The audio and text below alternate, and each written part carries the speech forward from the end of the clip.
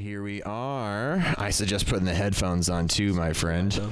There we go. Make sure you can hear yourself. I hear. Nice and clean. I hear. I And make sure you get that proximity effect proper with the microphone so we uh, sound super sexy for the people on the radios and on YouTube out there.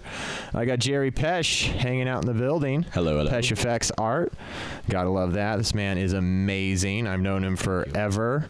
Used to do lighting at uh, House of Blues when I was back there doing audio when I was a young alcoholic. Yep, yep. Fucking making a mess of my life. How you been, man? You had the beard and I didn't have the beard, so now we're flipped. So we just basically reversed it. That's right. I I'm, I got the clean shaven, you know, the uh, that baby face going on right now, man. That beard of yours is super impressive, man. I I'm fucking- like Gandalf level. That's pretty much what it's become at this point. that does definitely classify you as a wizard at this point. Pretty much. For sure, man.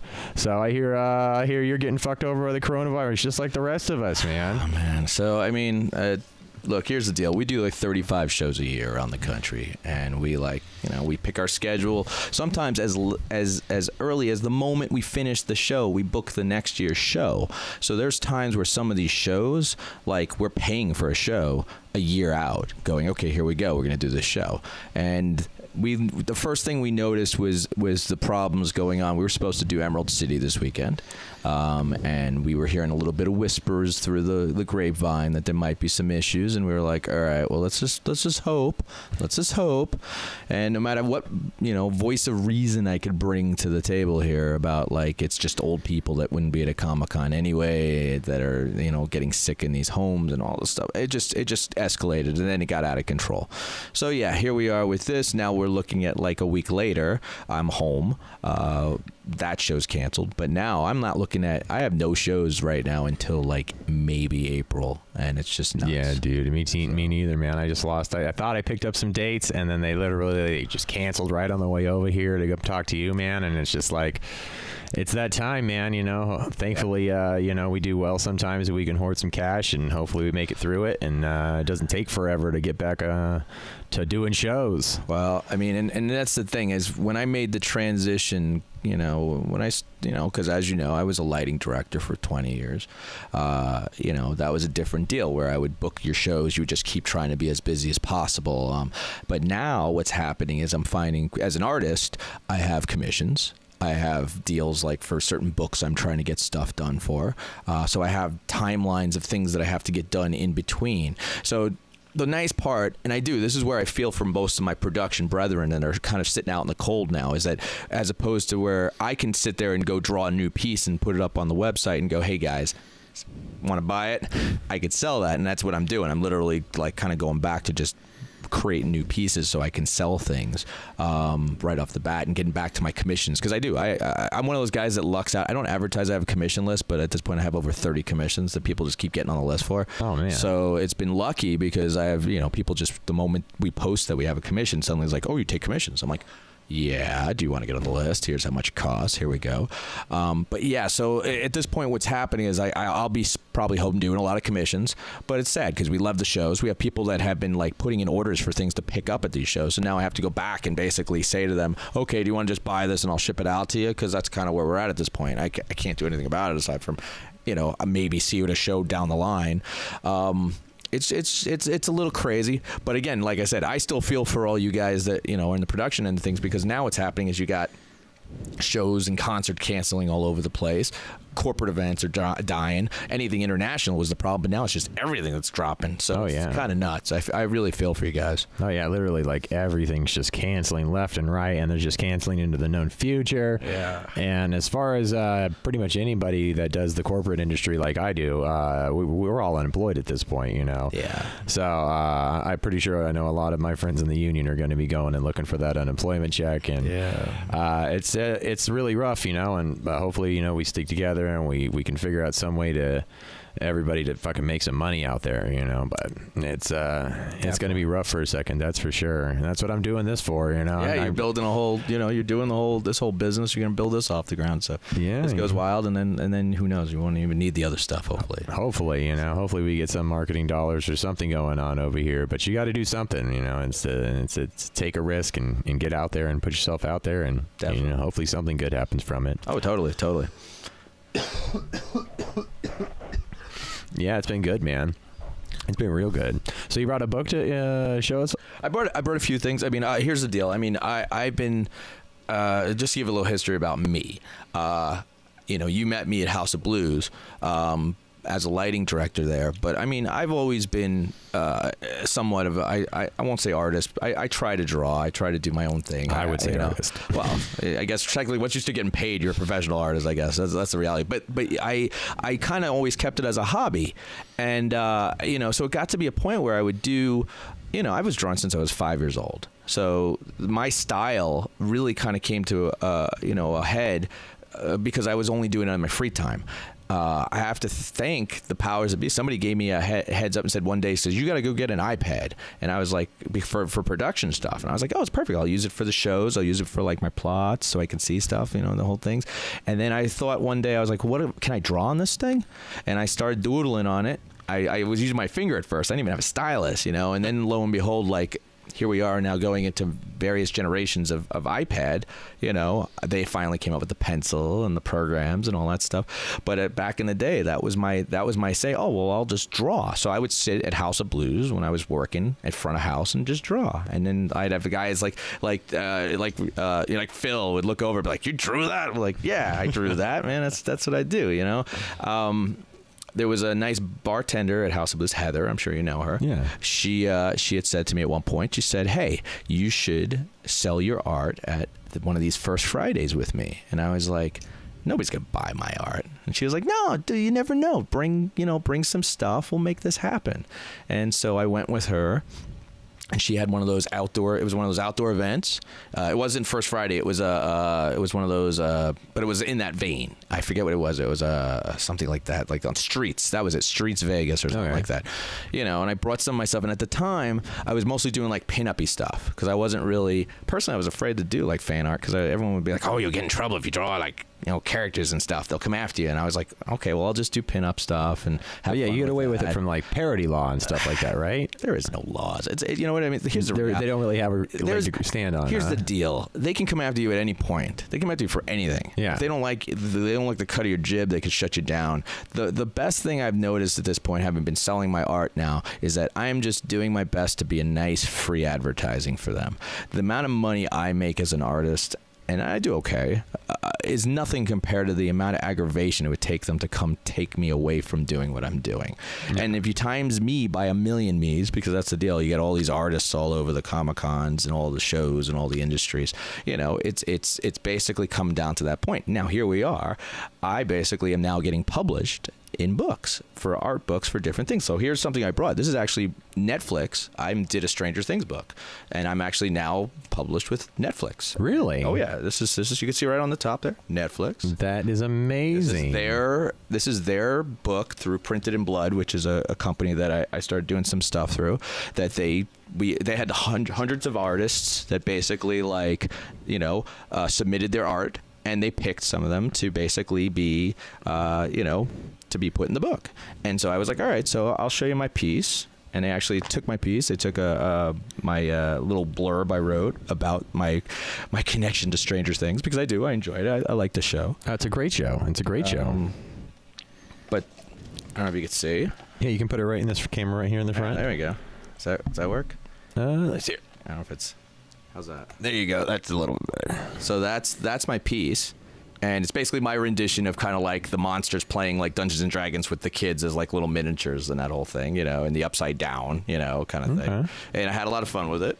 But I mean, that's that's the first book that I've become published in.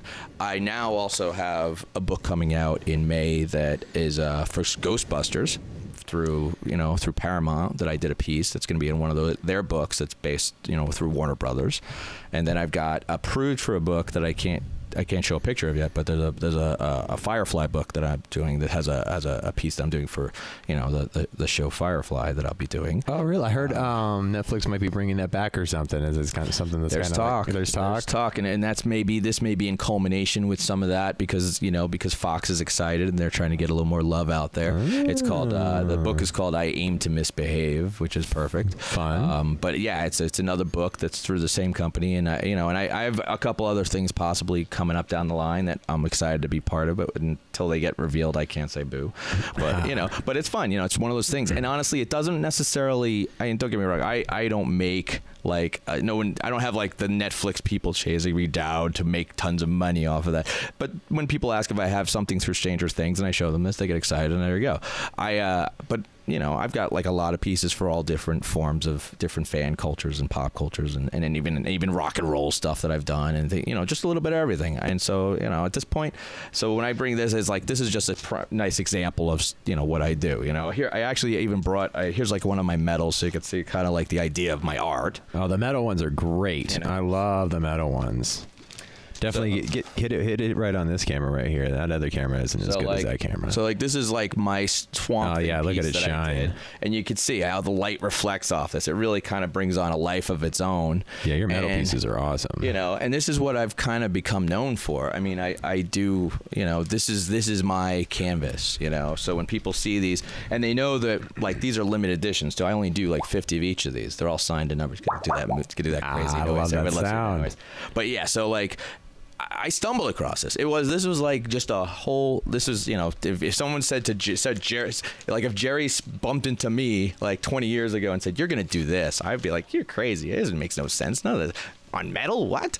You know, and that's and that was it. I, I had none of this. I had no idea this was even going to happen. And then so what ended up happening was is that I, like and to go back to that story where I went with Heather to go do this. I didn't have metal. I had just I just had my own painted pieces that I printed out myself that I put a little canvas on. I tried. I didn't sell one. Didn't sell nothing all weekend. In fact, I, I was pissed because I was there alone.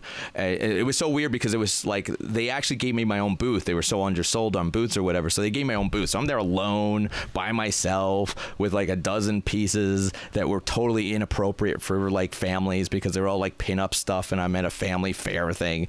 You know, I, you know, I try I, like I, halfway through the wind started kicking up because you know how the wind starts kicking up in Vegas certain times a year. So all my stuff started blowing around, and then my uh, my friend Lori came to visit while I was there and to say hi to give me some support. And I was like, well, I just want to get some food. I haven't been able to eat because I was sitting there alone. I had nobody with me. I went got a funnel cake, and the wind blew it away. And I was like, oh, like that was like we're out of here. And I grabbed my stuff and I left. So that was my first show experience.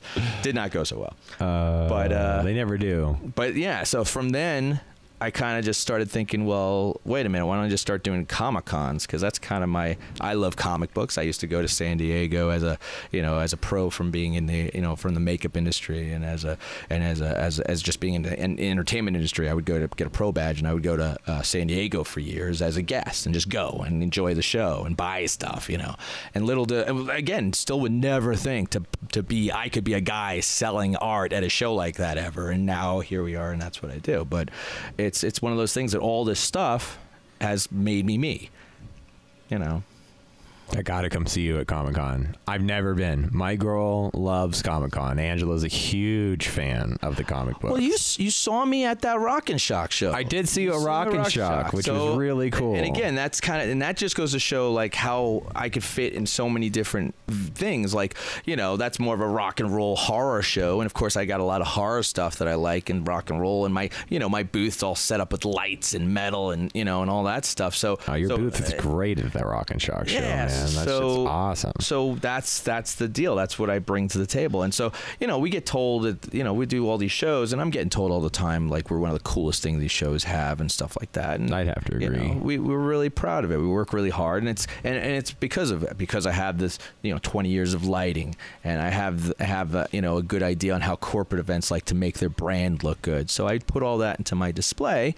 And then we have a cool display. And, Yeah, that is. I mean, that is one thing you guys really bring to the table. Is is you show up and your booth just destroys everybody else's booth. You got LED lighting going on, Yeah. stuff's moving. You know, you're, you're, you're you Yeah. got up lighting on got your on lights. Your, I got the TV. ridiculous. got yeah. hydraulic 65 inch TV in the background. Oh, you, yeah, that's right. You were telling me you got Yeah, this big so hydraulic TV. We actually have two TVs right now on a splitter, so that two sides of the booth are getting the constant feed of like my pieces rolling, and and and, and you'll see like uh like I actually have like all the different stuff that people get signed by the celebrities that'll pop up on the screen, so you're constantly seeing new stuff. It's actually worked good because what was happening is I have so many pieces now, I can't put them all on display, so I figured, well, if I have a TV, at least they can see that. So that was that's that kind of works behind us, you know. But it's you know it's kind of crazy. That's awesome. Yeah, you know, ideally, my my dream is someday maybe do something like a video wall behind me or something, be nuts. Just, but but again, it still comes down to cost. I'm not. We can talk about know? that because I mean, you know, I am doing a lot of the uh, the live entertainment stuff right now, Totally. and uh,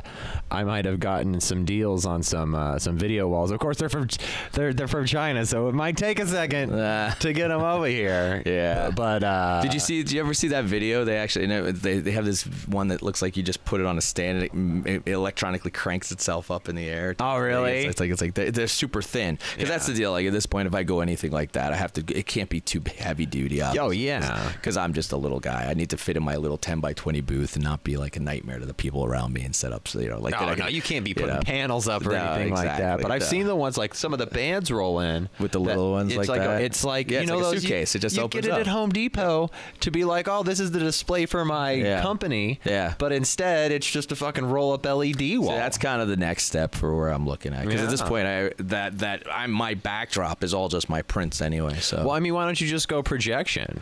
Because know? unfortunately, because to get the correct lumens, I think Yeah, in, that's in, true. Because you got to realize they're not going to shut the lights off in the produ- in the convention center for me. I need it to be top top, and they, Yeah. they put it all bright, so You'd I'm basically going to get killed. what like ten thousand lumens. Or I- exactly, and then it has to be front loaded somehow, which means it's not going to be sitting on you know ten feet away from my booth. It's going to have to be in somebody else's area to Well, do it. Have you seen the new? Um, we use them in uh, some of our shows uh, for corporate now.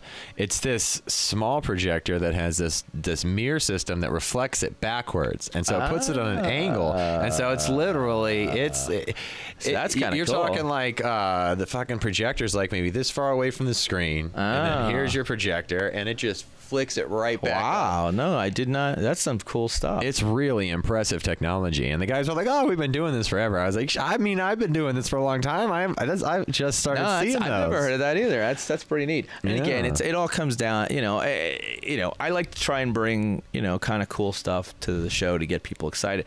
After all said and done though, it has to be I have to, you know, I talk to people about my art. They like what they see. If they don't like the art, it doesn't matter how you could light a turd as much as you want. If it's still a turd, no one's going to buy it at the end of the day. So hopefully people connect to my art and get whatever. The funniest thing is I get uh, because I come from this so differently than a lot of the artists I meet. A lot of these guys worked in the industry as from Marvel or DC, and they're independent comic guys. So when they see somebody like me come on the scene, they don't know what to think because they, you know I use crazy colors that they never used before, and I'm doing stuff on metal, and I'm you know, and I'm doing things a little more outrageous with the lights and the setup, and I'm a little, and, you know, so so. Uh, at first, they didn't know what to think of me. Now I'm just a fixture, and they just kind of like, "That's crazy, Jerry, with the crazy Friggin' Jerry there." just blows us all away real But quick. it's still the funniest thing is, is I didn't realize how hard it was for people to realize until I would bring it up to them that I came from the industry I came from. You know, because most of the time these guys just think I'm just trying to draw people into my booth. They don't realize that I actually do have a lighting background. yeah, So- you were a professional lighting director. yeah. So you and know? so now what's funny is like the whole Comic Con industry.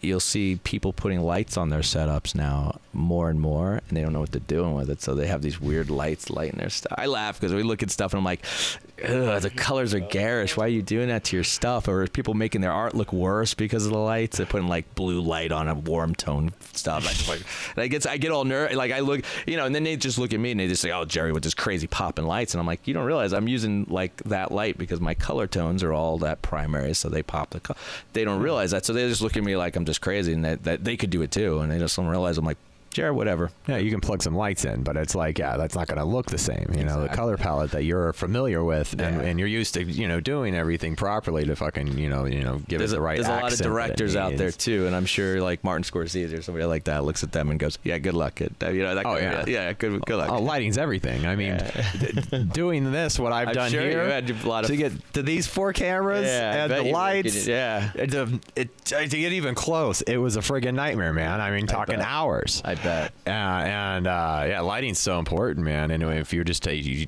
people underestimate how much time it takes to light some stuff up. you know and that's and then again that's all that kind of stuff we you know and again i I get people all day long as like, you know, how do I take this home with me? They like to see this, you know, and now luckily the nicest part is the technology is getting to the point where people could go to Amazon and buy stuff for themselves so they could set it up in their houses. You know, you got the tungsten U bulbs, and things people stick in their house so they could change the colors of their bulbs in their house and stuff, or, or the strips you can get. There's so many ways to do it so you can get a nice effect on your house if you want to do that same effect. So I get, I get people sending me little videos once in a while, like they kind of, you know, did little lights around, like, you know how they have the TVs with the lights coming out the back? Oh, yeah. They'll actually set their metals behind the TV so that it catches all the effects and stuff. Oh, and it looks cool. So I get so many people sending me these beautiful pictures. I'm just like, thank you so much. I mean, I've, I, I'm very thankful because at this point, you know, like I said, we've got uh, our Facebook fan base is over 80,000 at this point or something. And, and we have people like on Instagram and, and social media all over that follow us. And you know, there's people, I, I have people like at every show now that come look forward to us. And it's so crazy. You know, it's like kind of like, wow. It's like,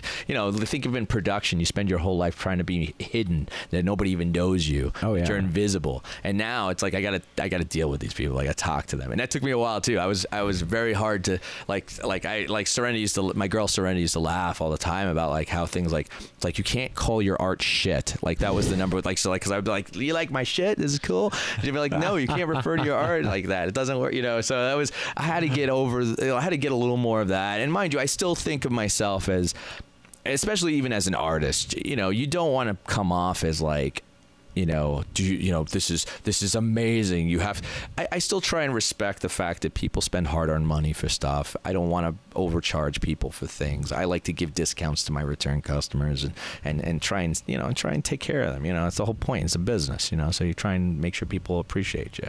Oh, yeah. You know.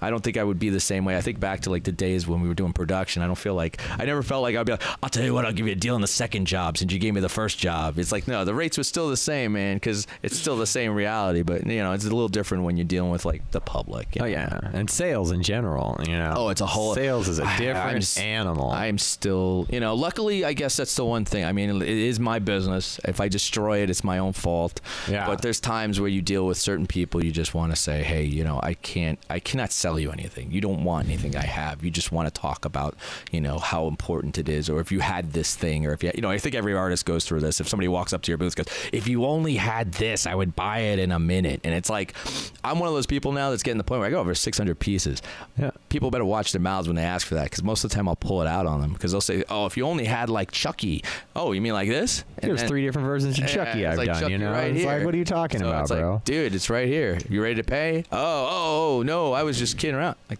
sorry, you know, don't play that game with me. I, I have a lot of this stuff. yeah, I'm It's like, actually I do commissions, by the way. I- well, right? that's it too. like, And you I've know, you got- can get on the list. I get people all day long and be like, "Well, if you don't have, be, if you don't have it, I could draw it for you. You just might have to wait a little bit." And then, you know, and that's a whole other thing. I mean, there's a whole there's a whole other angle. I feel like, unfortunately, I feel like a lot of people in the artist industry don't know how to don't know how to treat themselves. I feel like they undercharge. Oh, yeah. Uh, I have too many artists. I feel like They're just like, desperate to sell it.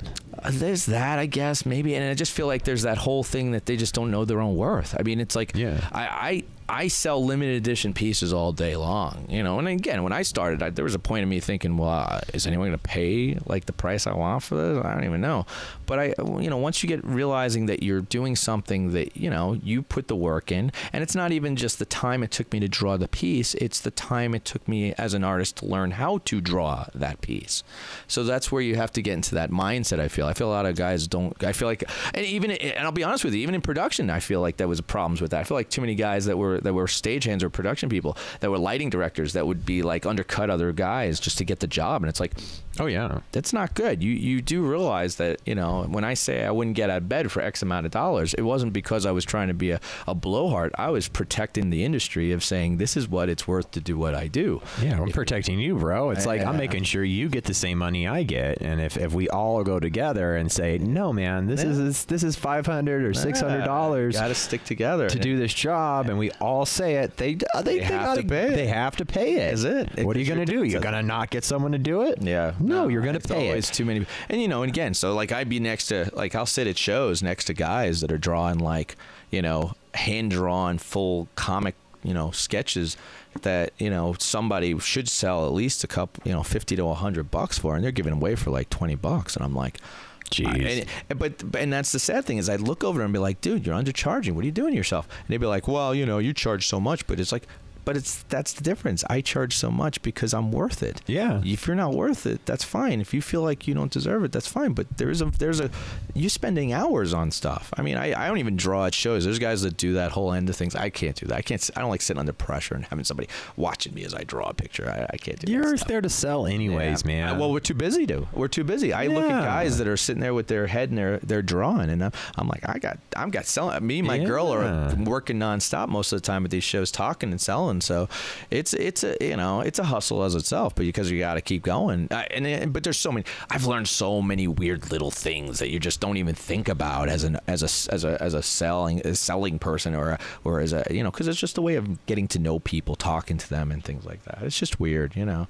Oh yeah, man. You know, you got to be on at those things, though, man. People will walk right freaking by you at those booths, and I've I've been in the position where you're sitting there trying to like get people's to, to anybody. Hey, yeah. Oh, yeah. I, am like here all day long, man. I just want to sell one thing, please. You know, and it's just like people ignore you. They'll blindside right through you, and uh, you ain't know, out there hustling. I, I feel like it's gotten to the point that we kind of had a you know you, you, you almost got to be afraid not afraid to like be ignored Yeah, because what happens is is that like I get people all day long they think that like when I'm at the show if I don't sell something to them they don't realize that I got 30 more shows that year that I'm going to go sell this thing to so if they you know I'll get people trying to you know cut me down in prices and things and I'll be like no dude it doesn't matter if you're not Yeah. buying it the guy next week's going to buy and especially with my limited edition stuff I explain all day long. Like there's times I'll say, like there's only ten of these left in existence. It'll never be more than fifty Yeah. of these in the world. I only do fifty of each of my limited edition metal and prints. that's smart, by the way. you know what? Again, it's something that I started doing because I'm a collector. I collect comic books, I collect statues, I collect things, and when I think about it as an art as as a collector, I want it to be unique. Oh, yeah. So to my my mind, I was like, all right, well, I'm going to do it this way, and that's the way I'm going to do. it. Now, the funniest thing is that again, a lot of artists I that I do shows with don't think of that stuff, or because now you know, just because I do art on metal, now the metal's taken off. Like there's like 20 to 30 other people that sell art on metal at the shows that I do. Oh, really? Now they don't do it like I do. Their art's obviously not the same. Everyone's art is different. Not everyone does the same quality, the same contrast. Even the company I work through doesn't do all the metal. There's other metal companies out there doing their own brand of metal art, and. Uh, my guy does such a good job. He's he's the number. He's the one who started it with. You know, like I actually invested in his company so he could do the big metals with me and type things. And we've been together forever. Um, but uh, it's one of those things where I feel like too many artists are afraid if they limit something, if they have something good, that they'll actually never be able to sell something else again. You get what I'm saying? Like, like I've, Yeah. I've actually talked to a couple artists that have had some really like popular pieces, and they're like, "Well, I'm afraid I've that was my one hit wonder, and if I stop selling that piece, I'll never sell another one." Now, me, I always look at it like this: I sell one, I draw it, it goes down, I could draw another one. It's not the end of the world. If somebody likes that piece, I could do another one. And that, like, I'm on Yeah. like three toothless pieces because people love How to Train Your Dragon. I'm on, you know, you know, multiple Star Wars pieces. Like every time something retires, I at least know what was popular, and I could go, all right, well, if I need to draw another version of that, I could go back to that. Like Boba Fett. Like everyone loves freaking Boba Fett. Who doesn't love Boba Fett? And I'm like, I've got like six Boba Fett pieces that have all retired one after the next. I like they keep going, and I just every time I do one, someone's like, "Is this one going to be retired?" And I'm like, "Yep, there it is. Another one's gone." The nice thing I did, and this was kind of my the one thing I did that that that uh that we do is like when I retire my pieces. I, I sell them on my comic size medals. Uh, I think I got one of those here actually. Let me show you. Nice, nice, nice, nice. I brought a little bit of everything. I was like show and tell. Ah. So this is example. This is my Deadpool piece. This has been retired for quite a while, but here's Oh, look at that, Deb. That's nice. Yeah. So, and again, when I did this piece, this is before the movie came out. Even I did this piece because I, I was a comic book fan. I wanted to do a cool Deadpool piece. So I did this piece, and uh, of course, all 50 of the large sold out. So we sell it on a comic size. So that's why I do it this way. It was like, you know, it's not limited. They're open ended because the whole point of it was when I did these, I was like, I felt bad that people would miss out on the cool metals. So I was like, well, how do I do this without like pissing off my collectors? So I was like, all right, I'll do I'll do comic size metals. And at the time, I think I had maybe like a couple of these, you know. Yeah. Now I think about 200 of my pieces are on the the comic size. The comic size is great because people have to split. My Angela has this whole set of shelves Yeah, that yeah. it's just it's all comics. Oh yeah, no, totally. Yeah, it's perfect size and the all that. exact size. It's like that can go right in the middle of it, you know. and it's- It's, like, amazing. So there's so so we're, as a business, I think we were smart about how to do it for ourselves and what works for us, and not, not necessarily everything's going to work for everybody. Yeah. that works for me.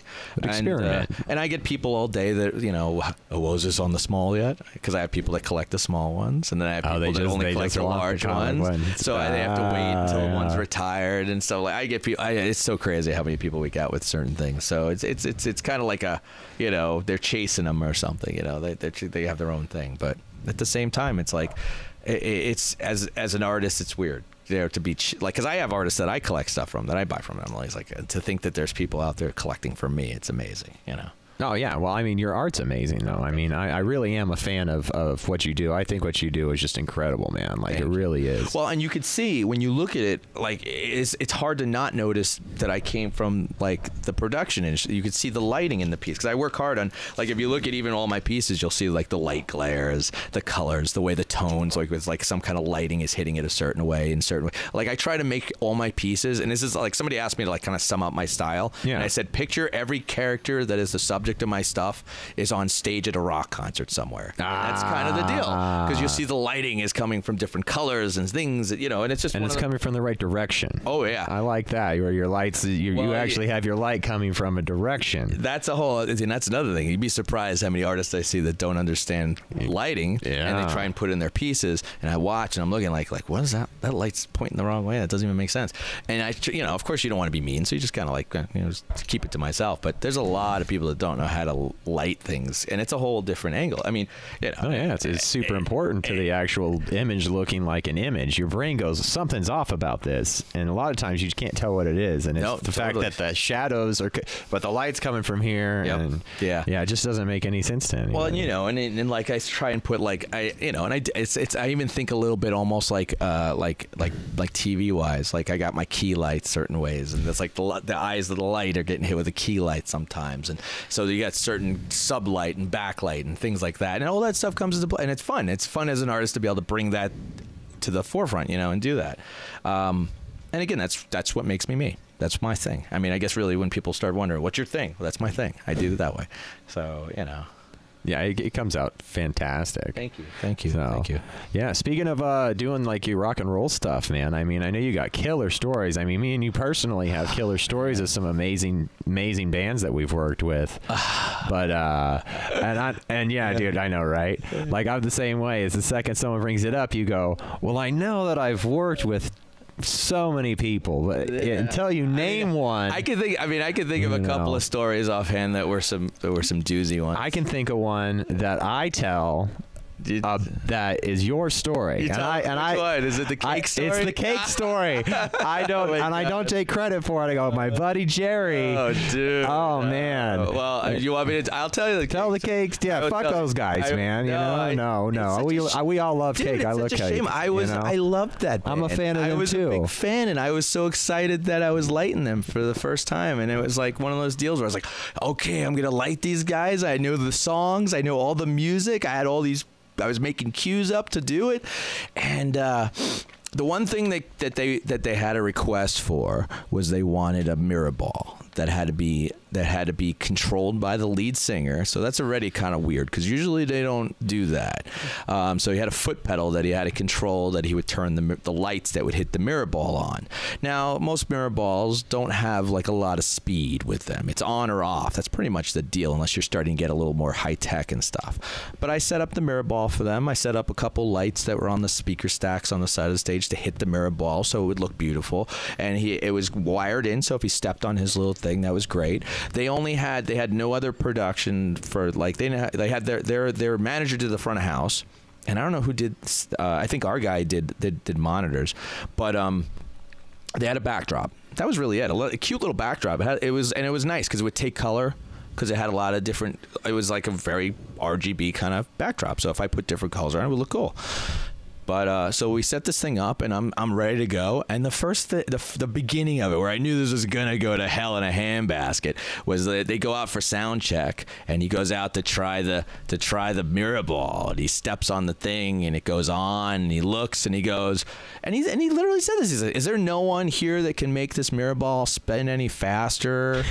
And I was like, Son of a bitch. and I'm like, I was like, this is the way this is gonna go down, right? And I was like, I, you know, and I pretty much said to his guy, I said, you, you got two speeds. It's got this one, and you're gonna hate the other one because the other one's nothing. Because that's it. It's on or off, dude. It's a mirror ball. It's a simple motor. It wasn't anything. You guys did not pay for anything. This is what we had in house. So the show begins, and. Um, and of course like half of the like i start doing the show and eh, well, maybe one song in like he goes off stage to go scream at the monitor guy which is to scream at the front of house guy to go scream at me. And he basically says something like it's too bright on stage. You can't do the, too much no movement no movement at all. Just just do you know static looks. And i was like all right cool deal. No that's all right. And i had like lekos pointed at all the band members you know because that's usually what you do. You have a key on each guy and then you use the different colors to you know sculpt the rest of the stage. And i had some light on the backdrop to make it look cool. And you know if it was you know my theory was if, if the show was cool is if the songs are good i might have a little movement going because that's what i like to do but honestly that's what i do. That's when you you know if you don't if you have eh, most shows if you like most bands if you have a certain view you want for a for a lighting guy you bring your own guy. You don't expect the guy who's you know running the house to be like oh well you're gonna know exactly what i want. You know it doesn't work that way. So anyway so uh so the show's beginning, and of course, you know, the, the audience doesn't really notice. They just they, they don't know what he's doing, so it, they, it just goes on. So like the guy tells me, he says, "Look, they want it darker. It's too bright on stage." I'm like, "All right, fine. I'll start lowering it. Start lowering it." Um, and of course, as I'm lowering their intensities, it's hard to see them. You know, it's the band. People came to the show to see the band. It's getting harder to see the band, and I think I was Not, your, not this fucking disco ball, and, right? and, and literally what he would do is he would kick the mirror ball on everyone every song he would just kick the mirror ball on you know whatever his heart content and that was great but Yeah. i was like whatever that's if that's his love that's what he wants great but lo and behold he just starts like after like a couple songs in and after the the the, the, the front house guy was like you're gonna do this isn't about you. He the, the, the front of house the, the, the production manager guy just said this isn't about you. It's about them. You do whatever he says. And i was just like i'm just trying my best to make the show look cool dude. I'm like you, you have nothing on at this point. There's like no light on. You want to just sit in the dark? That's cool. He's like you do what he wants no matter what he says. So finally here we are about four songs in and he gets on the the guy at the the lead singer at the end of the song says, "I guess I can't get along with any of these lighting guys in any of these houses here. Can we just have no lights?" of which I just was like, "Sure." And I just kill all the friggin' lights on the stage, of which the only thing on is the mirror ball and the Lekos for the mirror ball. Of which the guy next to me, the front of house guy, who's their banner manager, realized he just, you know, sucked it in basically because he just made you know he just pretty much made his own problem. And i just said i did what i want. And i just i, I literally shoved i shut everything off. I stood back and with my arms folded because i wasn't going to leave. And i just stood there and watched. And basically they were in the dark. They were totally in the dark except for a mirror ball spinning mirror ball lights around the whole room there for the next i don't know hour hour and a half. Um, and then finally the produ- the front of house production guy comes over to me because he now realizes what he's done and says, "Look, I'm sorry for being abrupt with you, but can you put a little light on the drummer because he has no light on him?" And I was like, "Oh, you want light now?" Oh, okay. So I was like, you know what? I'm a, I'm a gracious guy, and I brought the the light on the drummer up like ten percent, which looked like this ghosting drummer, and the rest of them in the dark with a mirror ball just spinning for the whole show, and that was the way the show went down. The whole show. Um, at the end of the show, the funniest thing is, is like the production manager guy looked at me and was like, "We always have problems with the lighting guys. I'm really sorry for being a problem." I was like, "You know what that means? That means you need to get your own lighting guy because I can't read this guy's mind, and if he's a jerk, that's on him. I did my best to give you guys a good show. oh yeah. As far as I'm concerned, he's an asshole." He just lost a fan because I was actually a fan of the band, and you're stupid for that basically doing that. happens. Of which I basically walked on stage and, and like Brian Brian Thomas, the production manager, was still there, and he was like, Yeah. he came right up to me. He's like, "Have a have a hard day, huh?" He's like, "Do you need a drink?" I was like, "I was like, I don't I don't drink, but I don't care. It doesn't matter to me. It's just a shame that this had to go this way, you know." It was kind of one of those deals. But yeah, I mean, and that's the way it was. It was some shows you never say two words to the, the people and you do a show best you can and they move on. Hmm. Some shows, you know, as you know, they bring their own lighty guy and I'm not I'm out of the equation. I just set it up and do my thing. Which is great. And, and in some shows I did whatever the hell I wanted and if they liked you know, like David Lee Roth came and hugged me after his show because Oh, yeah. basically I did an 80s rock show for him and he was so busy going I'm sure he was dealing with other lighting people in other venues that didn't know anything about like Van Halen or any of that stuff. All these young kids that are getting paid minimum wage to work at House of Blues or something like that. So they probably lighten him like he was like a you know like a Nine Inch Nails concert or something like that. And you know and he was like no this was perfect the pinks and the blue. And it was like he was like it's the greatest show I've seen. David Lee Roth, And man. that guy's go. amazing. So there you go. So that's the way my life was in that. And so trust me, and that's the other thing that's funny having going from that into this, where it's like I get a lot of people don't realize that I actually loved what I did. I enjoyed being a lighting director. I never had a problem with it. I did this, I did you know did corporate event stuff, but you know it was a fun gig. I like this because this is more me. This is my thing. I get to do it my way. You know, it's the beautiful thing of doing it that way. But it's all put together. It all connects. You know? yeah. Like even I know you were asking at one point before we, we were doing this about makeup effects because I did a little bit of makeup effects. I am very interested in the makeup effects. know- Actually, I'm starting to do a lot of uh, green screen work and movies and Gotcha. TV show shit. It's going to be a lot of fun. I uh, you know, and again, uh, uh, th- if you if if someone was to ask a if someone was to ask a young Jerry like at like 10 or 12 like what he'd be doing, Jerry would be like I'd be making monsters for Hollywood. That was Jerry. That was that was me. Adjusting camera angles over here. Sorry Oh, about cool, that, Jerry. You know what I mean? It's a tech, you know, tech Trying to make my shots look a little bit better. No, you're good. Do your thing, man. Do what you got to do. I know I'm, I'm, I'm emotional. I move a lot. so- Right. No, uh, you're also my guinea pig, right? This is uh, this is kind of like a maiden voyage for me over here. So sorry for interview. So so your makeup effects, man. I am. Yeah. I'm very interested in your makeup effects. Well, like for me, I started as a young kid. I was I was looking to mess around with that stuff, and it was easy because that was that to me was something when like I I got books uh, like of Dick Smith. Tom Savini, um, you know, uh, all these different makeup books, and I was like, "This is cool. I could do my own stuff." And they had things that were like how to take, you know, everything from like taking like, you know, coffee stained napkins and gluing it on your face and make it look like a zombie type thing, to like, you know, making your own blood and dealing with all the different old school stuff, and then going into like the newer stuff like prosthetics and things like that. I um. I knew I was going to do this somehow. I, you know, it was just kind of one of those things. And I used to like take my brother and I'd make him all up in different makeups and things. And I would do weird shit like, you know, take pictures of him, like make it look like a snake was burrowing out of his cheek and, you know, uh, stuff like that. But then, so when I graduated, my folks were very big on saying I had to get an education. So that's where I went and did lighting for a degree. I went to, I got a lighting degree in uh, Ithaca College. Oh, really? Yeah, yeah. No, I did the whole thing, and it was fun. I met a lot of great people, and uh, you know, I, it was more theater than rock and roll, obviously. And That's, that's, me- that's funny to me whenever your parents are like, you got to go get a real job. And you're like, I'm going to go be a lighting director. well, and, and, well, and at the time, and that's Most the- people, it's like, the that's, a ridiculous job to go try to get. It did, and they gave me a, they gave me scholarships. They they took care. Like I actually did well because I had been working in theater for years. Yeah. I was you know, but I always wanted to do the makeup effects thing. So even in there was no real classes for that in college. You really couldn't do like you know. But I actually, I mean- I think mean, I think in my senior year I laughed because they had let you do like your own creative study thing, and I made one up for makeup effects. I almost killed my friend because I did like a full head cast on him without really knowing how to do it, and I almost killed him because Oh, I, did like, you not like put the straws in his nose so he couldn't I breathe? do the straws. I literally, I, like, I lit, I left a little slit, I think, for his mouth, and he had. Uh, it was something weird. It was something like he had a sinus or something going on where he was like getting because because because Yeah. the way the um the alginate's super cold and the uh, plaster bandages are super hot so he was getting like he literally almost passed out from the from the heat and it kind of messed him up but it was a cool cast it looked great Oh, okay. Um, as long as the cast came out yeah, good. I mean, you know, it's got to look good. so that was that was kind of like my beginnings of all that and then and then after college i uh, i decided to go to hollywood and i i did the they had a joe blasco school which was like that's that was that was the big deal i did joe blasco's 10 week course on makeup effects and i you know they, you get a whole reel and you do all this stuff.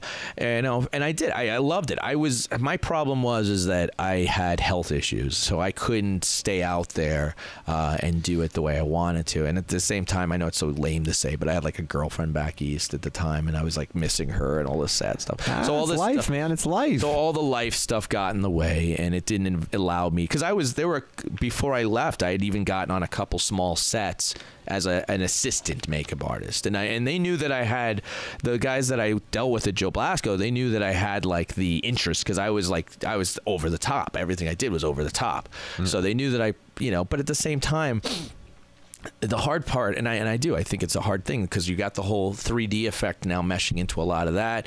Uh, the film industry, it wasn't a lot of money to me making doing as of that. So it was like it was, it would have been one of those deals where the kind of money, even as a production guy, you make is Yeah. not the same you make as a makeup effects artist. Because I did a lot of independent films in New York when I went back home, and and I never got, I got nothing. I would get paid like a kit fee, and it was like a hundred bucks for a week for weeks of work, going into Manhattan and spending money and product and you know, and you try to do the right thing, but you're like, you know, how am I supposed to argue I'm worth more because I'm just a newbie at this stuff, and you know, those kind of things. oh yeah, man. Um, I remember trying to come up in in audio world, man. It was a mess. So, so that's kind of one of those deals. I think I, I, I'd like to say I loved it all because again, it taught me as an artist.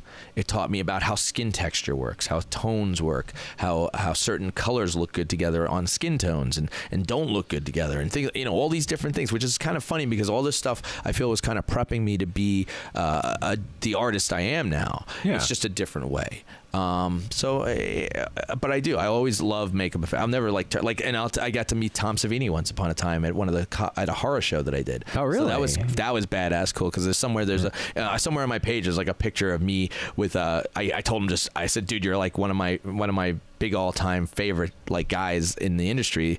Uh, give me a pick anything and he bought like, he he took one of my Beetlejuice pieces and I was like ah please thank you that's so cool and I and then and the, the thing that meant more to me about what a class act he is because there's people some people that love him some people that say he could be a pain in the ass as Yeah.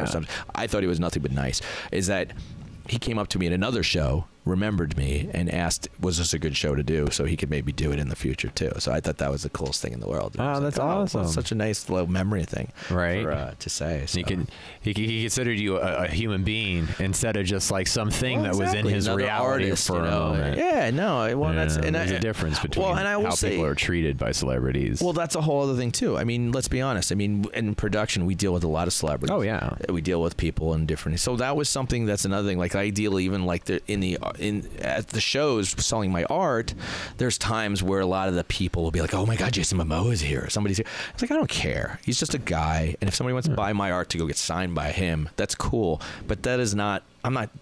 I'm not ogling him or, or you know the guys that Yeah, the guys that I get excited about or people that go like what? Like I get more excited about meeting like a Tom Savini than caring about like you know than than Jason Momoa. And again I've had Jason Momoa come up to my booth and be like you know he's towering over me and we both be like I'd be like hey how's it going dude? You know? I don't care but it's nice to see those people. It's nice if they do well and I'm glad that they like my art if they see it. I've had a lot of celebrities start coming by my booth to see that what they've been signing this all weekend and what do they know? Like I actually had a good story I had um, uh, Ian McDiarmid oh, okay. Em- Emperor Palpatine. Yeah, yeah. Uh, this was before the new movie. Obviously, this was a few years back. But I had done a, uh, you know, a, a piece of, uh, you know, the the Emperor, and uh, people were buying them and go get signed by him like all weekend. So he actually got up and he came to my booth, but he was escorted by like the 501st and the cops and all these people dressed. as- So like there was this entourage shutting down the entire artist alley, so he can come up to me to just be like, Uh, "Are you the so guy who drew this?" And I'm like, "Yeah." So there's a picture with me and him together, and he was so cool, you know. So like, you know, it's those kind of things, you know.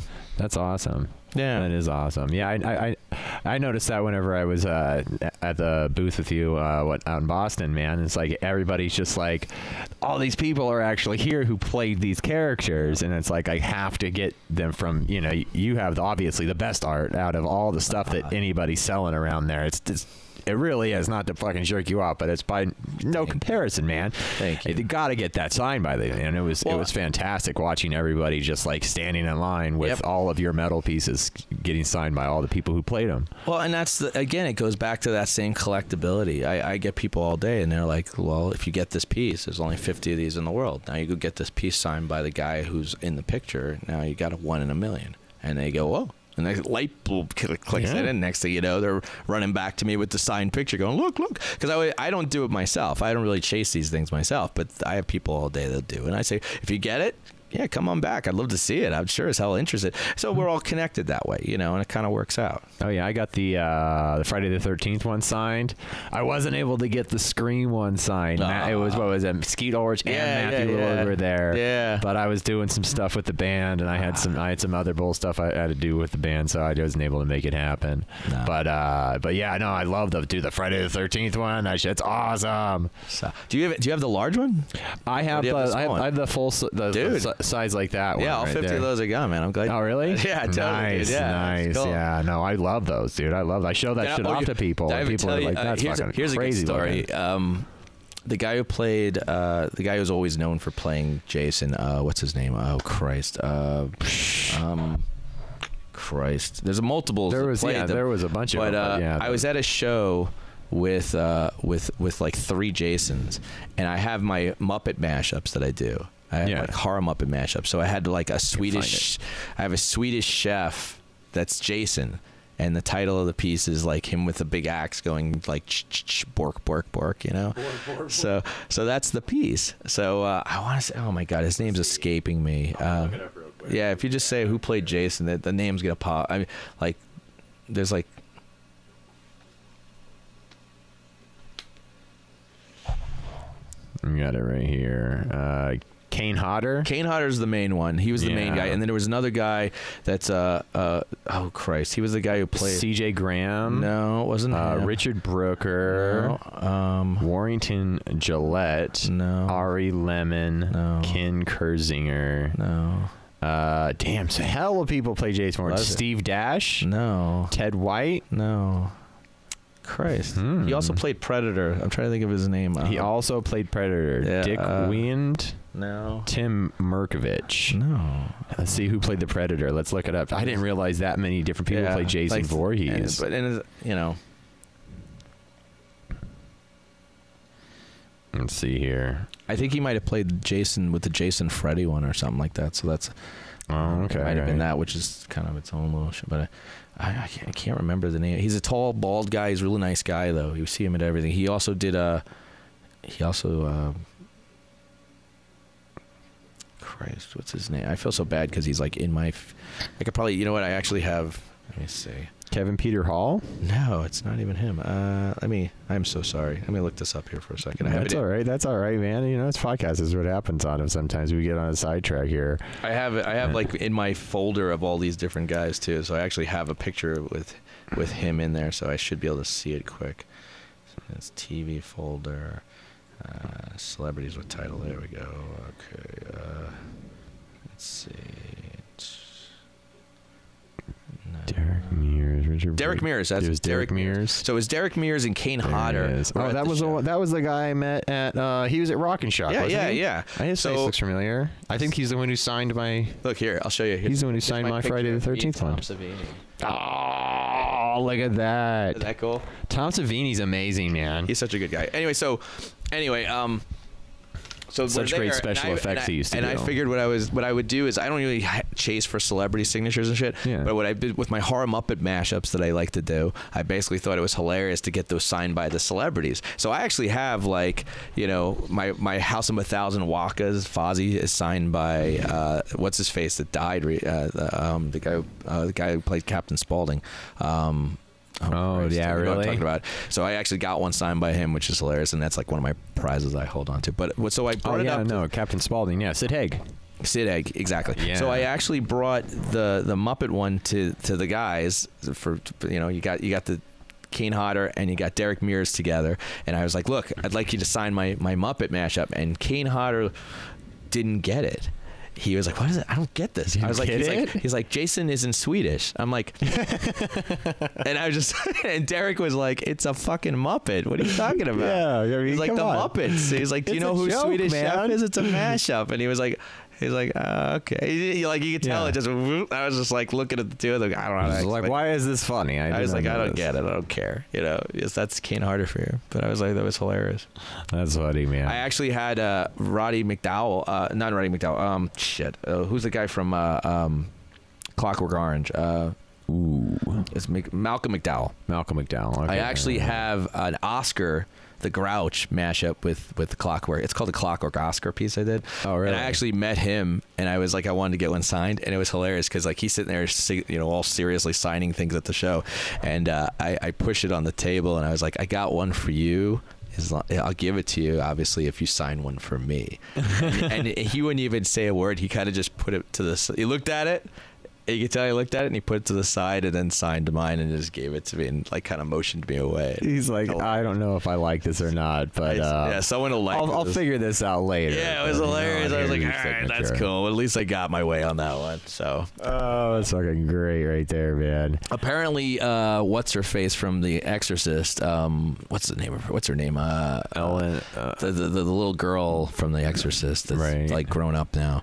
Um, she is uh, she does not she does not like a lot of things of her likeness, and she gets very particular. Linda Blair. Linda Blair. Shit. so, yeah. so for the longest time, I've had people like grab those mupp. I have a Muppet like like that's like of a Muppet Oh. doing the spitting pea soup thing and all that stuff, and they bring it to her to get signed, and she kind of like kind of like signs it like oh my god. Like, she should spit on it or something like it's that. And she's like, I spit on your She- fucking mother's like, brain. I know it's just funny. So so that's so Fuck again that's the beautiful thing is like that's that's what I've contributed is I have all these horror Muppet mashups I've done that are my own little sick children I've done it. So it's kind of funny. Right. I mean, how do you? I mean, if you're the Exorcist chick, you have the best signatures in the world, don't you? You just get to write fucking all the horrible shit coming out of your I fucking get, mouth. you know what I think? I hate to say it, but I think she doesn't want to be known only for that, and unfortunately, that's all she's kind of known for. And I think it kind of, I, yeah. I think well, I mean, you kinda gotta do other things. You, You gotta know, do uh, other things. I, you know, I'll give you a good. I'll give you a prime example. I, we were did a show. Uh, I did a uh, Toy Story piece uh, that I did, which was like mashup between Jurassic Park with the Toy Story Rex. Oh from- yeah, from- that's from- so great. I love so that. so I actually was at a show, and uh, the voice actor for Rex was there. He's the guy who's the inconceivable guy. You know, you know. Yeah, yeah, yeah, yeah. yeah. Um, so he um, his he wanted one of the pieces. He loved it, and so he sent his guy over to to get me to get one. I, I basically sent it over to get one, and I said I'm going to meet him or Yeah. to, so he could have it. That's Yeah. my goal. That's my giving it to you as you're going to give me a chance to meet him. But he was like, don't don't say inconceivable. He doesn't he doesn't care much for that anymore. It's been done a little too much. so much. It's so, his yeah, pet peeve. Yeah, so apparently I was like I was like cool about it, but I was like I can only imagine how many people walk up to him on a daily basis. Inconceivable. Yeah, that's like all they say, and it's just like, oh shit! Yeah. imagine if you have like a one-liner like that, it'd be like the death of you. That's all Yeah. they know you for, you know. I mean, how do you not say that to him though, right? I mean, it's like it's it's almost like a knee jerk There- reaction. There's a funny little. You're that fucking let me, let me see if I can dig, I'll dig up a nice little picture. Like I guess since we're you know, um, uh, here's a sad picture. Here's me with Peter Mayhew. Let's before see he it, passed. that one right there. know, and I. Uh, pull it back just a little bit. That should be, that should focus a little bit. All right. is that better? Yeah, a little bit better. Yeah. Peter Mayhew, Now he, the legend. you know, he had passed, and um, and then one of the things that was so funny was that I got I got him right over there. Yeah. No, I, I mean, do you, do you ever hear about the? Do you ever hear about they have like in uh, uh, New Orleans they have a Chewbacca. Uh, there's an actual like parade for Chewbacca they do yearly. That's awesome. Why And have I not would- gone to that? I, it, it's crazy. It's like a parade of Chewbaccas, and he would go every year. Yeah. So like those people were so Oh yeah, Sad right? it's a fucking parade in your honor. Yeah. Yeah. out. so. Those are the people that you can love. All the people that were in Star Wars, like they love that they were in Star Here- Wars. here- no one here's says me with you, McDiarmid. There you go. Here, I can it's see that one right there. That's it. Ah, that's so, tight. It's cool, right? You know, I love that stuff. We try to really, you know, go figure. I, and I get a lot of them. I get we'll get people come to the booth, and I meet people all day long and stuff. That's, Of course. always fun. But you know, so I don't know. so ask me something else. Is there anything else you want to know about me? Right? I mean, it's uh, it's fun, man. What are you going to do with all your uh, free time now that the coronavirus is completely wiped out all the ways we can make money in our fucking lives? Well, I do have uh, like I have a lot of commissions to do, so that'll be my that'll be my thing. I between that and you know, and here's the cool part: as an artist, I, I always got I always got to create new stuff. So there's there's always I always used to say there was not enough time. Well, no, there's more time, Dude. Um, so I shall be able to get more things created and and new stuff for my fans.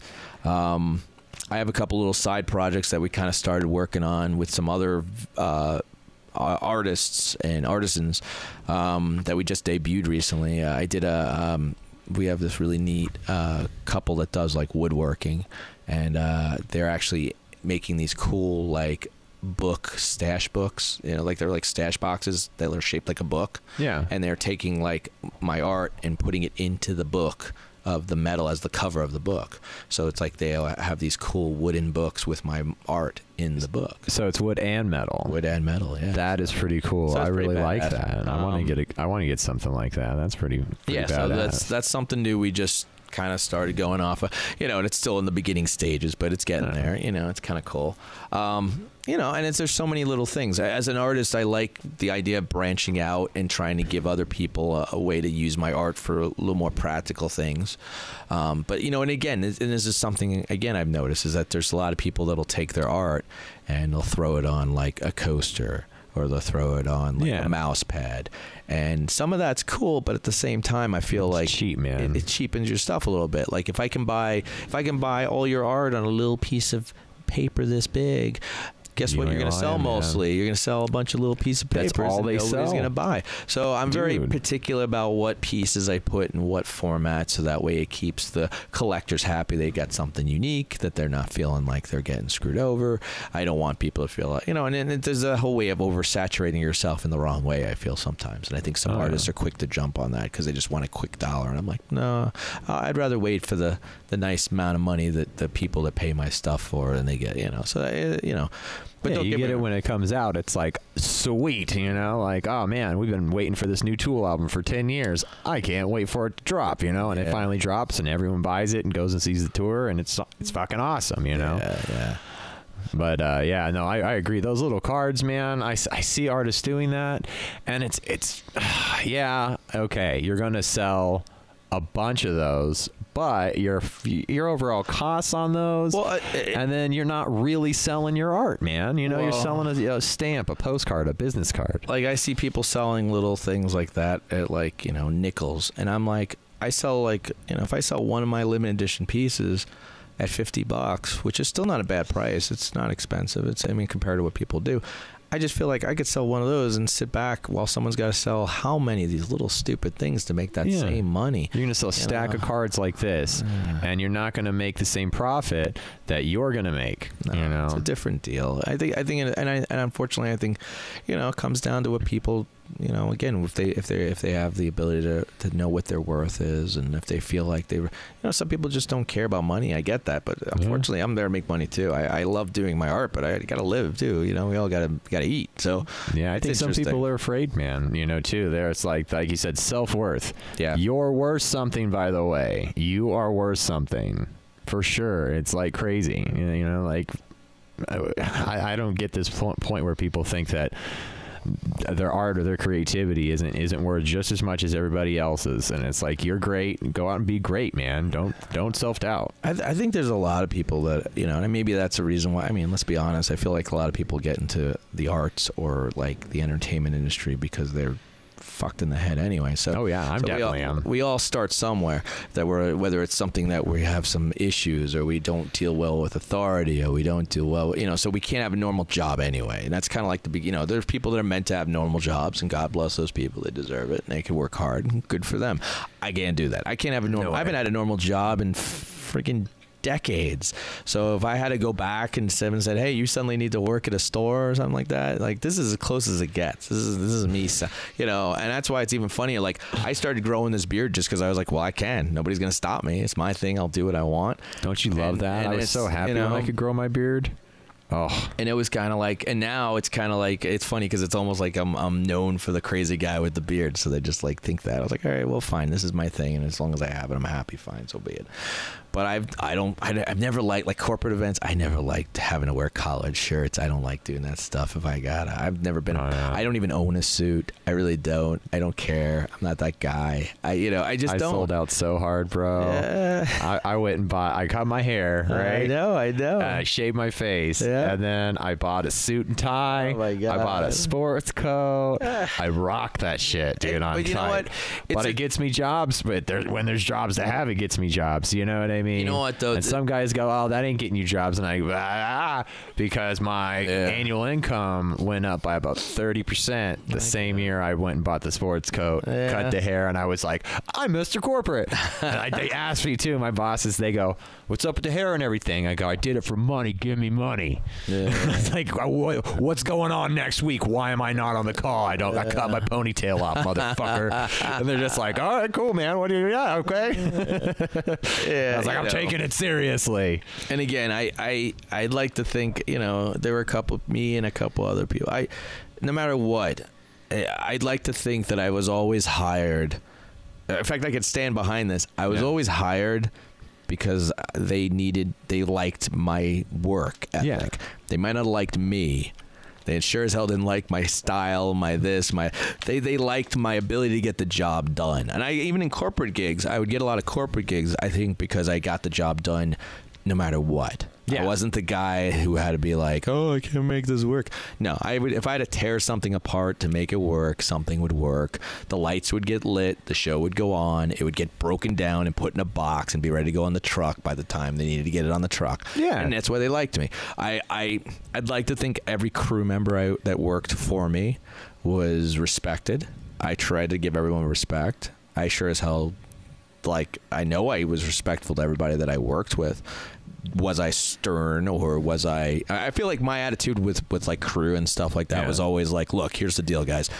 If you do it my way, we'll get done quicker and it'll be less work. That's Just what I tell them, too. Just do what I tell you, and I promise you that your day will be easier. Because if you go against me, we're gonna have to do it again. Yeah. And they, and, they, you know, and then literally it usually worked. And I, I yeah. but the funniest thing is I still wonder if I missed, like, because I've been out of the business now Yeah. for like at least five years now. No, and I don't think I was. I don't think I am. Somebody They don't need just- any of us. Someone else, someone else just took over and is doing the jobs. Once in We're a while, a number. you know. We're all a number. You know, that's all we are. We're on an invoice. Yeah. I'm I'm uh, seven hundred and fifty, eight hundred dollars a day, and uh, and I can I can uh, negotiate as much of that as I possibly can out of their pocket because I, you know I go oh I know how much you charge and I want a cut of that. Yeah. That's my money, and then uh, you know I disappear and they just go well we have money for people so fuck that guy. We who Jason who no, he, that was just a number you know and that's how they're gonna treat everybody. And the second you fucking walk away, you think oh they're, they're oh, I mean, I replaced mean- instantly. I mean, here's the reality. I mean, the Hard Rock just recently closed. Yeah. I was there. I used to work there. Yeah. I mean, I was, I was,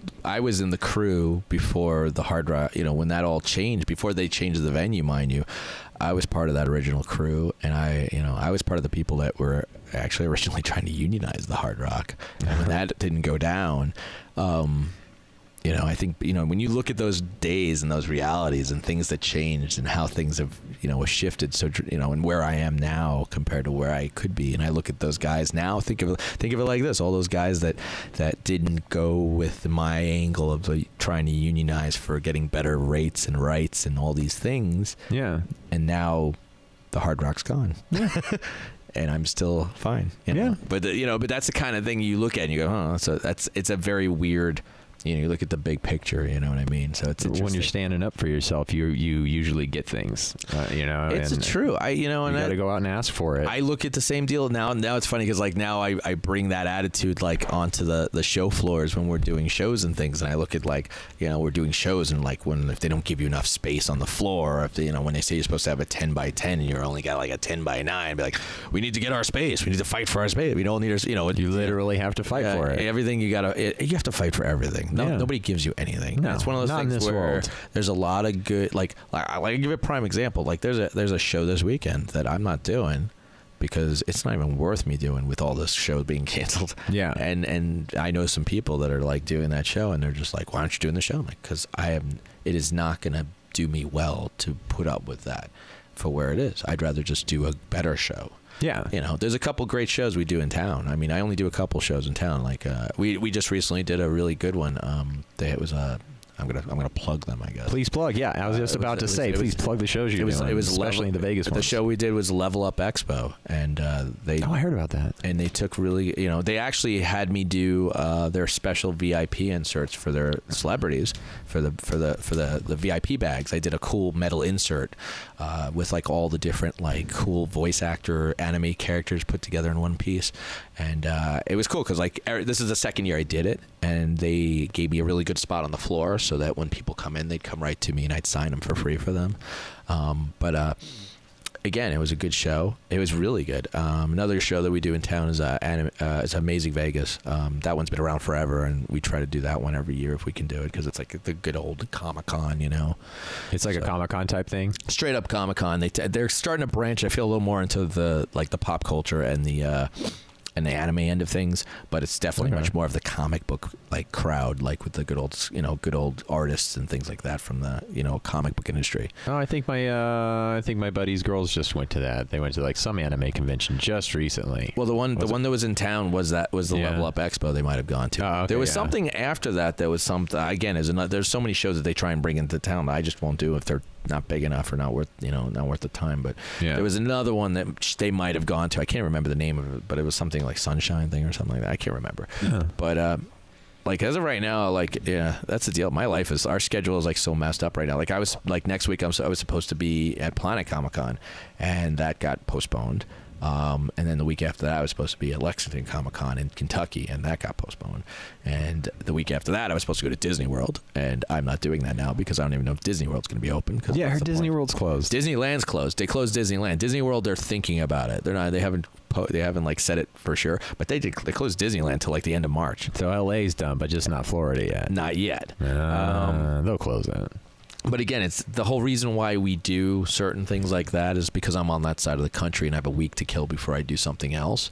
And at this point right now, I was going to go to Disney and then go to Indiana Comic Con, and Indiana Comic Con postponed. So I have no place to go. So it's like I'm literally in this. You know, we're in this constant Limbo. yeah, it's just nuts. And so we're hoping that our fans are just, and they are. They've most of them are very like. We put a sale up on my website, so I have a sale going right now. Um, you know, www.pesceffects.com.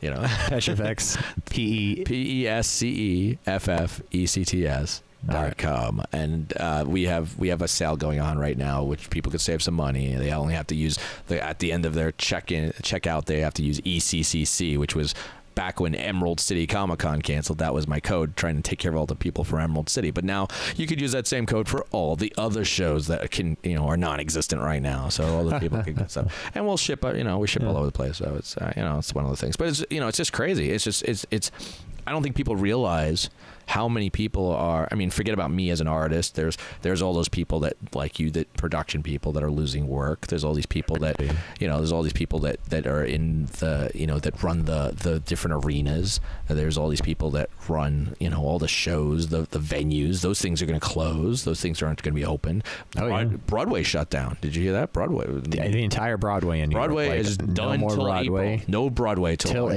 April. They said that they're not doing shows till April. So now that's New York getting you know is going to be you know forget about the all the production and actors and all that stuff, but that's like oh only about ten percent of their you know of their income for for travel you know coming Yeah. in there. It's just shut to nothing. Um, so you know all this stuff is affecting everybody. Yeah. You know I almost feel like it's like all the fun things are being taken away. and you know what sucks is usually when the economy shits Everybody the bed, goes- it's like we're safe. I like every time anything's ever happened. I've been in the entertainment industry my whole life. It's Yeah. like, well, we're good. You Yeah, know, there's always a still gonna show. party. We'll put on a show. Yeah. Oh, it's, it's, it's, does life suck while we're throwing a party? You know, and it, now they're Now- just like, you can't throw parties. There's and no we're like, party. oh. There'll be no fun. This is the first time for me that that's, Yeah. I've been in that situation where it's like literally no work. Well, and it's like hand in hand. I mean, the, the stock market's destroyed. Um, I'm so glad I just started playing with the stock market, and so I get to. I'm just like, ah, my weed stocks are fucked. My- My, S and P, I'm gonna leave alone, Oh, dude. The only thing I got good good is my robot stuff. My robot stocks, SoftBank, but dude, SoftBank. I'm telling you, I have. I don't know anything about what I'm talking about, but they invest in robots. they they buy up all the robot shit, dude. Like it, they're gonna fucking buy ev- any cool robot thing that happens. Their stock keeps got when I do all the business investment meetings that I do. Dude, they're always talking about SoftBank, or I see it on their things. I didn't get it from that. I got it because they picked up Boston Dynamics, which makes the Atlas robot. Okay. And if you haven't seen the fucking Atlas robot, go on YouTube, look up Boston Dynamics Atlas robot. They're making Terminators. That's hilarious. it's really cool. Wow. When I, f- I was like, I saw that. I go, who who owns that? I want stock in that. And it's it's it's still stable even through all this bullshit. I uh, I you know I I was I've been investing for a while. I I was investing back before like Obama, you know, and that kind of Yeah. stuff. So I had money in the market from that. And at one point, I kicked myself because I had, I had a decent portfolio that was sitting up like I think it was a forty percent up. Wow. And uh, and I was sitting, and now I'm in a negative. I'm- I am. So, but again, I it's a sit and wait type portfolio, so I don't care that if it goes back and forth because eventually it'll go back up. Is the plan? But I so close. I was like this close. I was like I turned to my girl and was like, I'm like forty percent up. Well, shouldn't I just sell the whole thing and just wipe it out and just start over or something? And she kind would- of, right? And she was like everything she- but your S and P. and she was like, and she was like, yeah, I don't know, maybe we'll think about it. And, And of course, in that week it was like, Yeah. like, and it went down. To, you know, so I, I, I, you learn a lesson. I was just like, okay, Yeah. so I'm sitting on this now. And mind you, I still have a substantial amount in there, but it's like. Don't sell it now. Don't can't sell it now. It's the dumbest thing I could do. So I'm just stuck. I'm just like, all right. So now I'm sitting on this. Hopefully they'll fix it. Hopefully it'll fix itself. Yeah, because all those good things like the economy was great and the job market was great. It the this- was. and now not so great. Now we're just now we're all quarantined like a like a like It'll a come back nightmare scenario. I'm keep keep your eye on it, and now's the time to invest. To watch that motherfucker dive. That's the thing that kills me is I would be buying left and right If you I had to buy the it. money to buy. I don't have yeah, it. exactly. So it's like, uh, you know, it's uh, it's it's that double-edged sword. It's like, how much money do I need to save to survive this freaking coronavirus nightmare? You know, and how much money can I invest in the stock market while it's down hard like this? you know, it's but crazy. and there's other people that just have, you know, there's this whole other separate section of society that's just like, oh, I mean, I'll just take out of my hundred million dollar trust fund while the you know the economy's down and you know, oh, you know, We're- fuck you. We're, we're not in that we're not in that number. God I, damn it. uh, you know. Uh, so yeah. Uh, I, unfortunately, we got to earn our money, but yeah, it's uh, you know, it's it's it's it's interesting times, man. It is interesting times. I I, I tried to jump in. Thankfully, I just tried to jump in on when everyone's like, these pot stocks are gonna go crazy, and I was like, I got a little bit of money, I'll throw in the. Yeah, I've always wanted to mess with that, and then they just bombed. The second I bought in, it was it was over. The bubble the, the bubble just Um, dove off. I was like, ah, shit. I'm I'm one of those Lesson I'm, learned. I'm more of those I'm one of those people that like I I I bought for the dividend end of it. Like I would See, so, and that's what I needed. and- That's what I learned. I learned about dividends. So I sit on a good amount, and the dividends kind of pay me enough that I can buy more with that. Yeah. that was the plan. Problem is, is like yeah, the dividends are fine. It's just at this point right now. Now it's just dealing with whatever's left. You know, we got to see because like like I said, there was still that part of me that was so close. I was like, I could just sell it all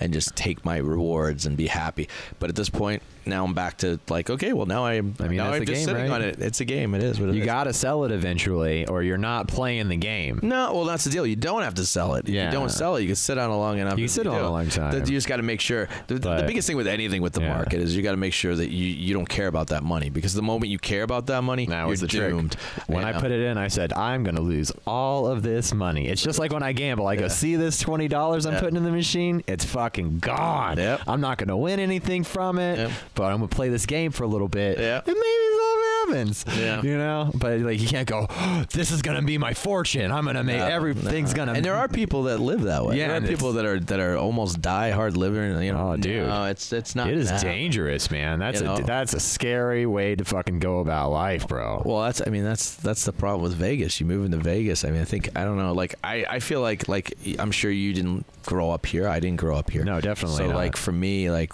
I think when I first moved to town, I think you have to like lose like one paycheck or something before you like get the deal. You know what I mean? Like so no, don't gamble. yeah, that's that's your that's your lesson. You, you go in with your first like chunk of change and be like, I'm gonna become rich off of this gamble and stuff, and you lose it all and be like, I'm never gonna gamble again. Oh yeah. You know, I used to my, my I, I what I do now is uh, if I want to play anything, I'll just play like a game because I want to see the game play something out or something like a Yeah. penny game. I That's as play far as I go.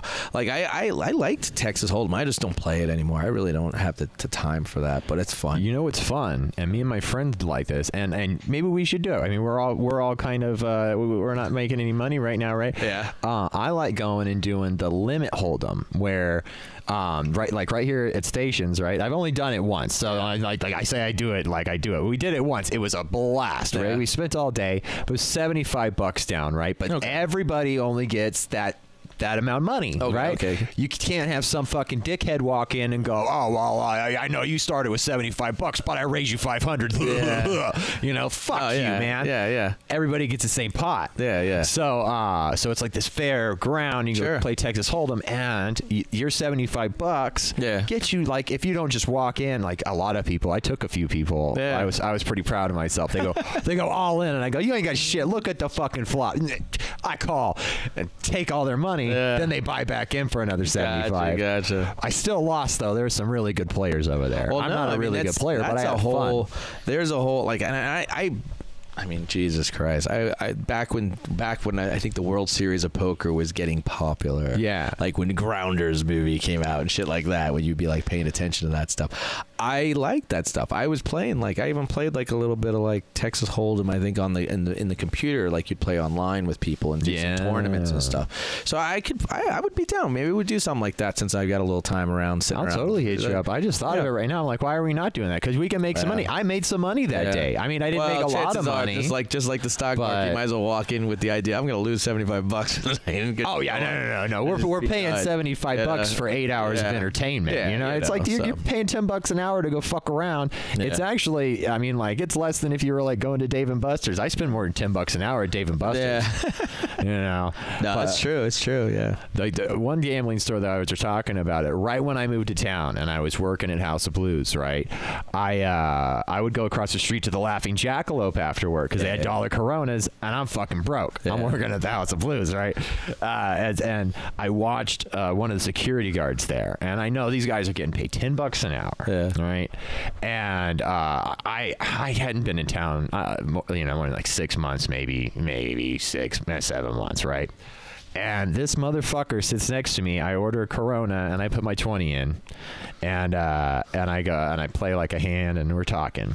I watch him take a hundred dollar bill, shoves it in the machine, and and we don't have a conversation really. Like we're trying to. He's not listening to me. He just sits there Yeah. and goes tap tap tap tap tap tap tap tap tap tap tap tap tap tap tap tap tap. Hundred dollars is gone. I mean, it has not been five minutes yet Whoa. okay that was all the money that you just made today and probably yesterday because you're ten dollars an hour. These shows are what? How long are you working? Five, Yeah. six hours, Wow. right? And so we're not even talking taxes. So it's like you just gambled away two days' pay. And he goes, "Fuck it, another hundred dollars in the thing." Tap tap tap tap tap tap tap tap tap tap tap tap tap. I watched him do this to his entire wallet, Wow. and I went, "That had to be." Everything you made this week, maybe two weeks, working this job that you're working, why did you just do that to your all of your money? Yeah. And on the first hundred, you just go, oh well, I fucked up, right? But it's it. But all right, get her out. Daff, out now. she was up there for a reason. Well, the lights are out, so I can't tell. Hey, you gotta go. So yeah. Anyways, my dog. We love Daphne. Sorry, I'm yelling. I, she just gets yelled at for barking uh, when we're in the middle of a podcast, and she tries to knock all over my cables over. Trust me, my dog is a princess. Uh, she gets spoiled rotten. But uh, but yeah, man. I mean, fucking gambling, dude. It's it's a rough one. you know, and that's. I mean, here's the deal. We live in a city that's got every pretty much addiction possible, and I guess that's one of the reasons for, like, for me personally. I guess that's why I, was able to be uh, successful because I didn't have any of that stuff. I don't I don't drink. I don't I don't do any of that. You know, I'm not. I don't. oops, Sorry, Yeah. I don't drink. I don't gamble. I don't smoke. I don't. I don't do any of that stuff. I'm Yeah. very. I'm very boring with that end of it. I'm just. I like. I like. I like my sex. Ah. I like my movies. I like my collectibles. I like my gaming stuff when I play. You know, that's me. That's my reality. And none of that stuff really matters where you are in the country. So to me, those things don't affect me as much. And the beautiful thing about it is, is there's so many people it does affect in this town that you can Oh, yeah. easily rise to the top of anything. Because there was jobs I got mostly just because I was not going to Yeah. fall off my chair at some point, retarded from you know Oh, from yeah. being drunk or high or stupid. I So they- you literally, know, I, I get jobs. I show up on time. You know, I'm like 10 minutes early, Yeah. Mm-hmm. and I don't smell the booze. And that alone, people are blown away. It's, uh, they're just like, "Wow, you showed up on time and you're not drunk. Well, I think I'm going to keep you around." And it's When- like that's the standard that people are setting around here. when I moved to town, the first job I got was I literally just opened the phone book. I didn't know anybody. Yeah. So I opened the phone book and I called a staging company, and they were like, uh, "Yeah, show up. You want to work on the decks out in out in the field? We'll we'll put you to work." And literally from that job, I went from that job to House of Blues, Hard Rock, the Union. To I was working at Thomas & Mack. I was working at all these places, mostly just because the first thing they said is, "You're sober. Oh my God, you showed Right. up on time. You're reliable." I want you, and that was that was the deal. And my, my you know again my rate of work went from like ten bucks an hour to more to more to more. You know, so I was getting union wages by the time. And then the union even got the guy at the union hall looked at my resume from being in New York and doing what I was doing theater out there and and all that. And it was like, shoot, your resume is cooler than mine. I was like. Put me to work. I want to work. Oh, yeah? you know, and that was that was the deal, and that worked for me. And again, you know, I feel like anybody, if you work hard, you can do anything. I tell people all day long. I get people all day looking at me, going, "Well, Jerry, you went off and did your own thing. You're making your own business. You're making your own living with uh, with your art and all this." And I said, "I'm not special. I did what I know. I'm Yeah. doing it well. Anybody can do anything if you put the work in. And we That's it. travel. You know, me and my girl travel the country. We, you know, we do well." I do I do better than I did in production. Honestly, I'm happy. I'm very thankful. Maybe it's because it's what I'm meant to be doing. I don't know if I you know I believe in fate and all that reality, but I am doing what I do, and Yeah. I've become become you know I, I've you know getting better at it. And that's one of those things where I just feel like anybody that's had a dream, follow the damn dream. You can't can't only try if you don't try. Yeah, I think fate and karma and all that kind of stuff, all that that's like uh, it, it's it's a word we put on things for you know you're you're interested, you've been following a path, you know, and as you go along that path, I mean, this is gonna happen to you if you keep going down, you know, like mathematically you can see it at the end of the road, and people want to call that fate or whatever they want to call it, and it's just you know it's persistence of of being you consistently, and that's and it, it's gonna it's gonna add up to that, you know, and Me and my uh, you, you know um, Jason Reppenhagen. You know that name? no. He's a, he's a production guy. He's actually doing uh, all the uh, um, what's the fights? The not the not the not wrestling, but like The UFC stuff? UFC. He's he's he's one of the production guys for UFC. Nice. I just Um, got to do does- a fight gig.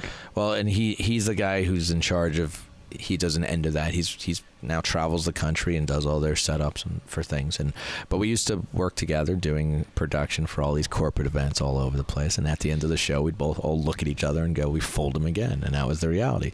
And That's, it, right? kinda- you we fooled them. fooled them again, and that was it. The moment that somebody trusts you enough to put on a show, to do this or a piece of artwork, and and you were able to make them happy, and they don't care about how you got it to be, and you, you know you fooled it. You, you know you you created it out of nothing, and that, that was always one of the, the biggest things. I mean, my girl still to this day will get out of a show where we have a great successful show selling art all weekend, and fold them again. We made it happen. You know, it's the reality, and it's just that's the deal. It's there's so much, you mm-hmm. know, there's so much opportunity. I feel like people just are afraid to take. Maybe they don't think they can get it. Maybe they don't don't want to make. Some people don't want to make the effort. There's people that are meant Yeah. to pump my gas all day long. and Oh, yeah. that's the deal. They could pump my gas.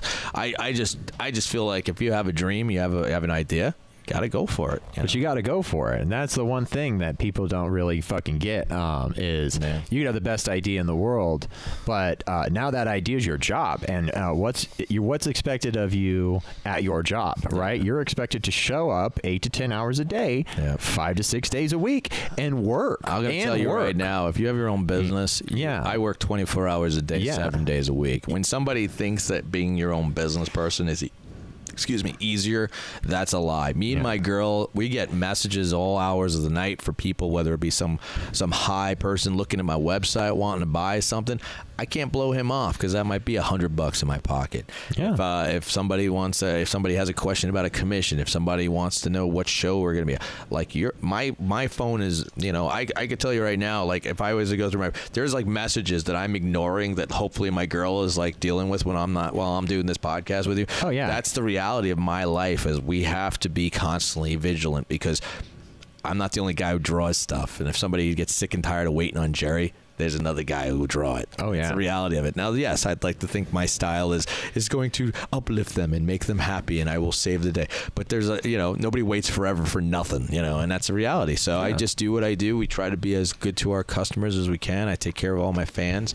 I try to bring them what they want. There's a lot of times where you know where I'm trying my best to try and engage it, and there's some people that will be like, "Oh, well, you should draw this," and I'll be like, "You should pay me to draw this." And I'll wait it out. There's some characters and things that I just am never going to draw somebody doesn't make me do it because I just I just don't have time. I don't want to I don't want to make the effort. Yeah. But then there's cool stuff that I get asked to draw. You know, like and my commissions are weird, man. I get like I like if I, I'll give you like here's here's a list of what Jerry's got coming up. I love it. I gotta hear it, this, man. man. It gets crazy because it's like it's not. There's nothing that I'm doing that is literally the same deal. Everything is unique and different. So like when I'm drawing like a like if I got like on the top of my list, I have I have a nice lady who's commissioned me to do not only Ronan from uh, from from uh, the Avengers movie uh, from Guardians of the Galaxy, the Okay, character okay. Ronan, the guy with the hammer. Yeah, she has the blue guy. the the guy with the helmet and the hammer, and she's got like the Yeah, yeah, he's like the main villain in he the was the main guy in the first Guardians Galaxy movie. Yeah. But she has me doing her own character, which is like her own unique character of herself that she's done. She's like a cosplayer, so she actually has her own character. So Oh, I'm doing her character and Ronan as a separate piece. So that's just one person. Then I have somebody like I don't know if you if you're a fan of like Neil Gaiman, but like Mm-hmm. I have like I was doing a whole series of Sandman characters, and somebody has me doing like I'm literally doing like Desire and Despair like back to back that I have. You know, so I have Oh, like which again totally different. Then I have somebody having me do like you know uh you know a bunch of uh you know Howl's floating castle, spirited away, you know, destiny stuff. I have this I have this awesome chick Raven who commissions me to do like three or four commissions at a time that she'll lock me in on doing and I do those and you know and she gets her you know so there's so many and then I have somebody doing like a Star Wars piece it's like a multi-layered multiple Leia Princess Leia piece with like all different versions of Leia together you know so I have all these cool commissions and this is just five of the 30 I've got going right now Right. you know I, it, I love it because some of these things are things i might have wanted to do eventually or may never thought to do but the coolest part is the moment i do these things I got 49 other people that are going to make happy with this stuff. Oh, yeah, So, right. uh, You know, it just works out. I have people waiting on some of these other people's commissions because they couldn't afford the commission, but they're happy to get one once it comes out. And you know, and, and a lot of these, awesome. and and I feel like my the people that commission me, I feel like they're happy because nothing makes them feel like like like imagine if you paid me to draw something and all the limited edition ones sold out. Right. It makes you feel like you picked something cool. Yeah, You know, like your you know your unique uh, preference on that art is special. Well, and that's it. I, I'd say, a th- you know, th- at this point, about a third of my pieces are commissions, so it's kind of cool. That's awesome. Yeah. That's awesome. What's your favorite thing to, to draw right now? Wow, I get asked You that know. a lot. Usually, my fu- my funny answer is the last piece I sold. The last piece you sold, right? But, Even, I but mean- no, all right. But like, so, what's the, what what what, what Let's do you draw the most of? Is a better question, right? You're like, you're I- like I don't know what to do. what I'm I get- go to this old standard.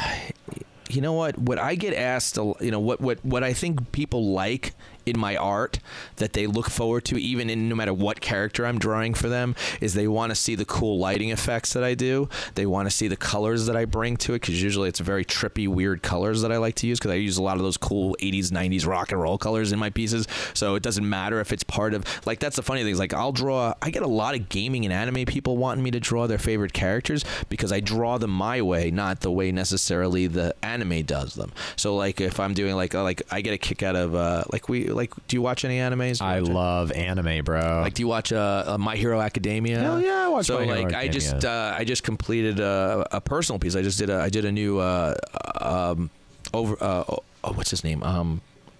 Overload or Overhaul. That's it. Overhaul. Okay. He's the he was the big bad guy recently in the show. Okay. Um, so I just did a piece of uh, like a carrot piece of him, and everyone's all jumping all over it. But like my first my hero piece that I did, which was just me going like somebody was like, "You need to do a my hero piece," and I was like, "All right, fine, I'm going to do one. I'm going to do." Uh, I did a cool piece that has. Um, um, like I can show it. I'll put it on the camera. There you go. Yeah, yeah. easy.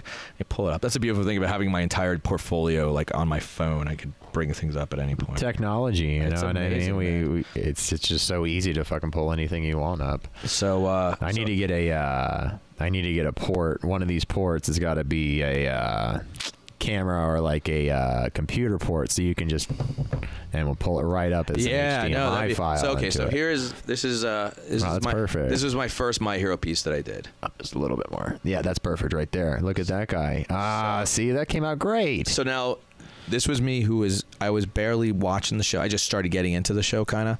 But I had so many people asking me to do a, a piece for the show. I was like, fine. Now, if you look at that piece, that was my own interpretation, which I thought, if you know, you know, anyone who knows the show, you know, you have the guy who turns into All Might. Yeah. And he's like, I call him Small Might, the, the Small. little guy. Mhm. But like, and it's the, the kid Deku who's the one who gets the powers from him and, and all that stuff. But like, that was my own like connection to it. I was like, oh, I think it's so cool that he turns into this big guy, and it's kind of like, but you still connected to the little version of him and all that stuff. Um, and again, all 50 of that piece sold out like in a month. I was like, Oh, really? gone. In fact, that piece was so freaking popular. We do, um, not only do I sell my metals, but I do like a holo foil version. Which isn't metal, it's like a paper that's like a reflective paper I do of some of my pieces when you can't get them on the large metal anymore. I sold 250 of those. Those sold out like instantaneously too. So that's retired on the holo foils because I only do 250 of those. Oh, so it was kind of nuts, man. I mean, that's a that's a crazy, crazy thing. We've done multiple shows with like a lot of the voice actors, like Chris Sabat, who's also the voice of Vegeta from Dragon Ball Z. Oh, um, he uh, he's he's the guy who's the voice of of, of All Might. I just started Dragon Ball Z again. Did you do it again? I got all the way through all the Dragon Balls. Yeah. Dragon Ball Z episode one's about to start. well, we uh, I'll get- so many episodes. So like I um so anyway so oh, well then you'll you'll dig the heck out of this. Uh, I gotta show you. I've never done it. You know, growing up as a kid, the episodes were on, but I never actually like had the opportunity, as we do here in the future, where you can stream that shit from episode one to the end of the series all the way through and not miss a single episode.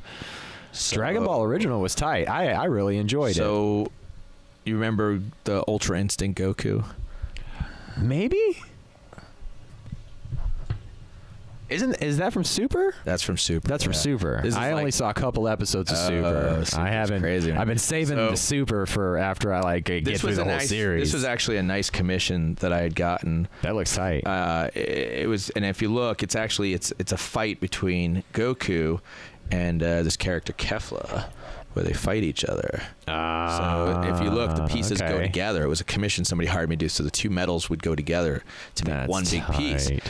And mind you, all these sold out like instantaneously. All fifty large. were course. But uh, Who doesn't I just, like Dragon Ball? I, you know? I'd say I get. I I think I'm done. Like at this point, like. My latest one I did actually uh, here here if you're you'll recognize this guy if you're a Dragon Ball Z fan. This was a commission I just recently did for one of my fans. oh yeah, yeah, yeah, Majin. Yeah, and if you look, you can see all the different Majin candies and cookies. Oh, yeah, cookies! take the- so There's the Vegito ball. You know, so I, I again I, I put like I try and put a lot of you know into the pieces so that people respect them. You know, but that's I think that's what's good about your art. You know, is is you're not just like patronizing people to get their fucking money. I agree 100%. You're a fan of this I'm stuff. a fan of it. And, I, s- I you know, stand it behind that. Like when people talk like and there's a lot of there's some artists that really shit on fan artists. Yeah. There's some artists that really get like angry about that shit because it, in because I'm not like getting, you know, hired to draw this but I do it because I want to, you know, kind of thing. I believe very strongly in the fandoms that I do. I, I work very hard. When people hire me to draw a character, even if I'm not a fan, I watch the show. I look Yeah. at what it is. I try and do my best. Nothing irks me more when I see other artists do something and they don't know what the hell they're drawing. Yeah. You could tell and you could tell. I mean, I'm sure that the fans can tell. It's like the Dragon You know? Ball Z live action movie. Did you see that? No, I couldn't even watch it. I looked at it, Dude, bit. I was like, it- no. it's like exactly, i- i- it's exactly what we're talking about, right? Yeah. Like the guy saw a picture, saw a picture. of Dragon Ball Z and then just made the whole. He has no fucking Yeah. idea what he's doing. It was had nothing to do with Dragon I've- Ball. I mean, I've it, it was an embarrassment. I've seen published artists like draw like like Thanos with the wrong hand, with the gauntlet on the wrong hand. Yeah. I've seen I've seen people do Star Wars characters with the lightsabers in the wrong hand. I got a great one. You're gonna fucking love doing this. But here's what you know. I'm gonna put it on camera too. We knew we did this when we did this, and I don't give a fuck because it looked better. Okay. Okay. But when we did my kiss piece Okay. on the back, watch this. Look at, look at, look at. Where's my fucking kiss piece at on my back? See the star? Okay. Did you put it on the, The wrong star's guy? on the wrong side. Uh, so you flipped him. you see the star a little bit, right? There you Yeah. go. so so let me guess. You flipped the image and you basically yeah. So you flipped the image and you forgot that it was on the other side, but you didn't want it to face the right way. we knew when we flipped the image. okay. We we we knew what we were doing. When I and we both went, fuck it. Ah. No, who gives it? Uh, fucking kiss. But has anybody Fucking called? rock and has roll. anybody called you out? it? Nobody, has ever noticed. See, that's the difference. And I thought I think it's hilarious, and I was just like, it, it looks better, and I know, and I don't mind. That's- you know, I mean, it works for the the layout. works for that. Did, and, but, But- I'm my. Let me get. but total bullshit because it's on the wrong fucking eye, man. But and it's a tattooed on my body forever. Yeah, and I, I think it's great. That's only awesome. two, yeah, yes. Well, only two people did know, which is me and my homie Ray Eversol Yeah. up in Oregon. I love you, bro. Uh, who's been doing this kiss piece for a while, but now I guess everybody else knows too. That, that everybody else stars on the other side. Ah, yeah, we did literally. We flipped the image in the uh, in, in Photoshop, and we're like, yeah, that looks better. He needs to be facing that direction, Yeah. and I like this picture. Well, and I get, and I and trust me, most artists, that's kind of the nature of the beast when you're laying Yeah. out your pieces. A lot of people flip things, a lot of things. I, I always work, and that's it. I work very hard when I'm doing my art to whenever I'm. You know, when you're working on a character, first of all, it's got to look like the character. I get it. Not everyone can draw the same, you know. But the, the biggest thing that I think that's the biggest challenge is when you're drawing a character that everyone recognizes you know, forget about the fact. Let's forget about like an anime character where you can kind of go nuts and everyone can do. But when you're drawing like a human being, oh yeah, it's got to look like that person. Oh, so I. I, I really work hard. Like to, I'm, I've, I'm getting better with live people. especially the nose. It's hard, dude. The fucking nose, man. Um, like I, you know, like I've, like, and again, I've, I've gotten better at drawing live people. At first, I was scared shitless. A lot of Mm-hmm. times, people would ask me to draw somebody. I'd be like, I don't want to, I don't want to mess that up, you know. Because the other thing is that's a whole other thing. Because I do so many crazy lighting techniques and stuff in my pieces, it's very easy to turn somebody that looks normal under, say, some normal light into Yeah. a weird looking motherfucker with some crazy light. Because then you go, oh, that doesn't even look like that person no more. So I have to work extra hard to even keep that realistic look of their face going because there's times where the way the shape of their face changes. Like if I put a shadow in the wrong place, it looks like they got a fat nose or if they got a Oh, weird. Uh, right. it does. It happens It that way. Highlights and shadows and different things Yeah. can really mess things up. So I really try to work hard to try and get. You know, what I mean? I'd like to think I've done good. I have a lot of people very happy. The stuff but you there's do is always There's times I look at things and I go, oh, I hope that looks good enough. You know, and then you know. But, oh yeah, man. But as the artist, you're always going to be the one who sees that. I do, But and there's no and anything that's wrong in a sees piece, I, I I could point it out forever, and there's times people. It's all you'll ever see. I always. It's all you'll ever right see. To the fuck up Yeah. I did or something. And I was like, dude, that line kills me. And metal, and that's the other thing. Is like, see, this is a whole other beast. Now going on to metal, I have to deal with other things because the translucency of the metal with the layering, it can screw things up too. So lines that don't appear like on a piece of paper will appear sometimes on the metal, and that's a whole. And, I- and there's a whole other deal with that that end of the of the the, the canvas itself. Um, and there's a lot of people don't give a fuck. I get a lot of Yeah. people that print on metal. Like to the I feel like too many people that are doing metal these days uh, because of a lot of people saw me doing it. They just saw I made money and they're like, I'm going to do metal too. Yeah. So that's what happened. I feel like a lot of people put on metal. Yeah, man. It's just a printing process. It all is technically high tech printing process. Yeah. They just don't do it the way I do it. But I just feel like when you see a lot of these guys, I get people all day long walking up to my booth going, I've never seen anything like this before. And I could have like metal people all around me and they don't even notice them. And it's just hilarious. Just That's laugh. so great. It's just That's crazy, so great. you but know? you know, I mean, you know, flattery or uh, what's it called? That fucking expression, right? Uh, uh, uh, mimicry is like the, the Yeah. transformer flattery or Yeah. ripping someone off. ripping someone's fucking style off. Yeah, It- that's They're a like, whole other. Hey beast at man, you know, point, it, that, that's a great idea. Maybe it'll work for me, man. You know, and it, it you know, it, Ah. but it won't. It, it- not as well what? as it's going to work for you. If I, if I, you know, I, I, I've had one guy that I had a, had had a shut down that copied one of my pieces. I had one guy that I had, he copied it. he pretty much copied my piece. Um, he was- he, literally tried to flip it, which which didn't make sense because the. Um, this, it was a Star Wars piece, and he flipped it, and basically the lightsaber was in the wrong hands, so he was just trying to take my piece and flip it, kind of. And I was Then, like, now did he do it like like digitally, like scanned it? He's and- obviously a digital artist, um, Yeah. but uh, you know, and he tried to do a little differently. I, the biggest thing is, is What a piece of uh, shit. uh, you know, it- you know, we deal with all you know all kinds of people. plagiarism. And the hardest part is, is, and I actually had to have a conversation with this person because I said, look, we're all artists, but at the same time, this guy was also doing art on metal, and I was like, hey, man, I got a bunch of people that are looking at metal.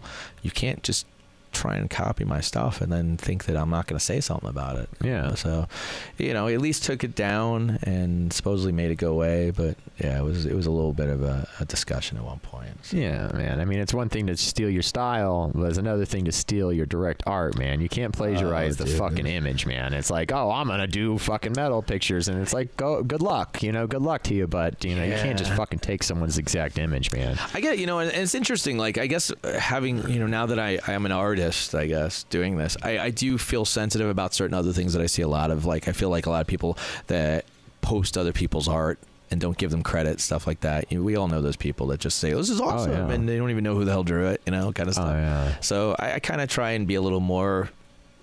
I guess you, like you can only be so mean to those people because they're only just trying to be. They're just excited about something. But I, there's a couple people I've said, "Hey, can you give the artist a little credit?" Because You really do. know, you know. Um, Especially musicians. Yeah. Especially musicians, guys. Credit your photographers. Yeah. Espe- all your posts. Credit your photographers, dickheads. Oh, I bet. No, I get a lot of, you know, I bet a lot of artists, uh, about, you know, because there's some great photography of like bands and stuff out Yeah. there. But I'm sure.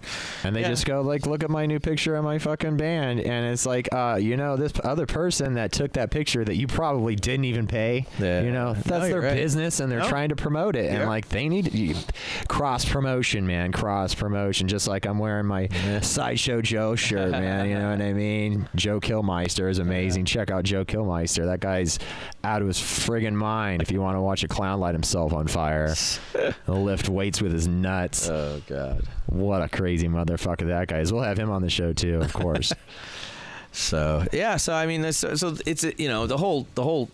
You know, I think everything's cha- that's the whole beauty of it. Is like is like as as all this stuff has gone to what it is and how it moves forward, and like I said, it's a beautiful thing. I've known you for years, and like you know, like like you know, when we'd be sitting up in the courtyard doing a band or something like that, doing you know, sitting there like you know, wasting our brains away on some bad like cover band or doing something.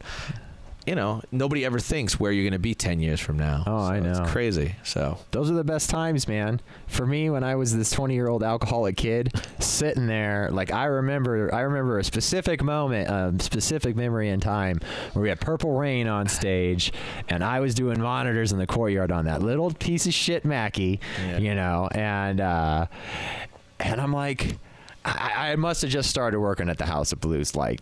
That, yeah, two months maybe, you know, and I'm looking up here and I'm like, I'm in Las Vegas doing this show, mixing on a console at the House of Blues, like I fucking made it, man. You know, like how much better does it get?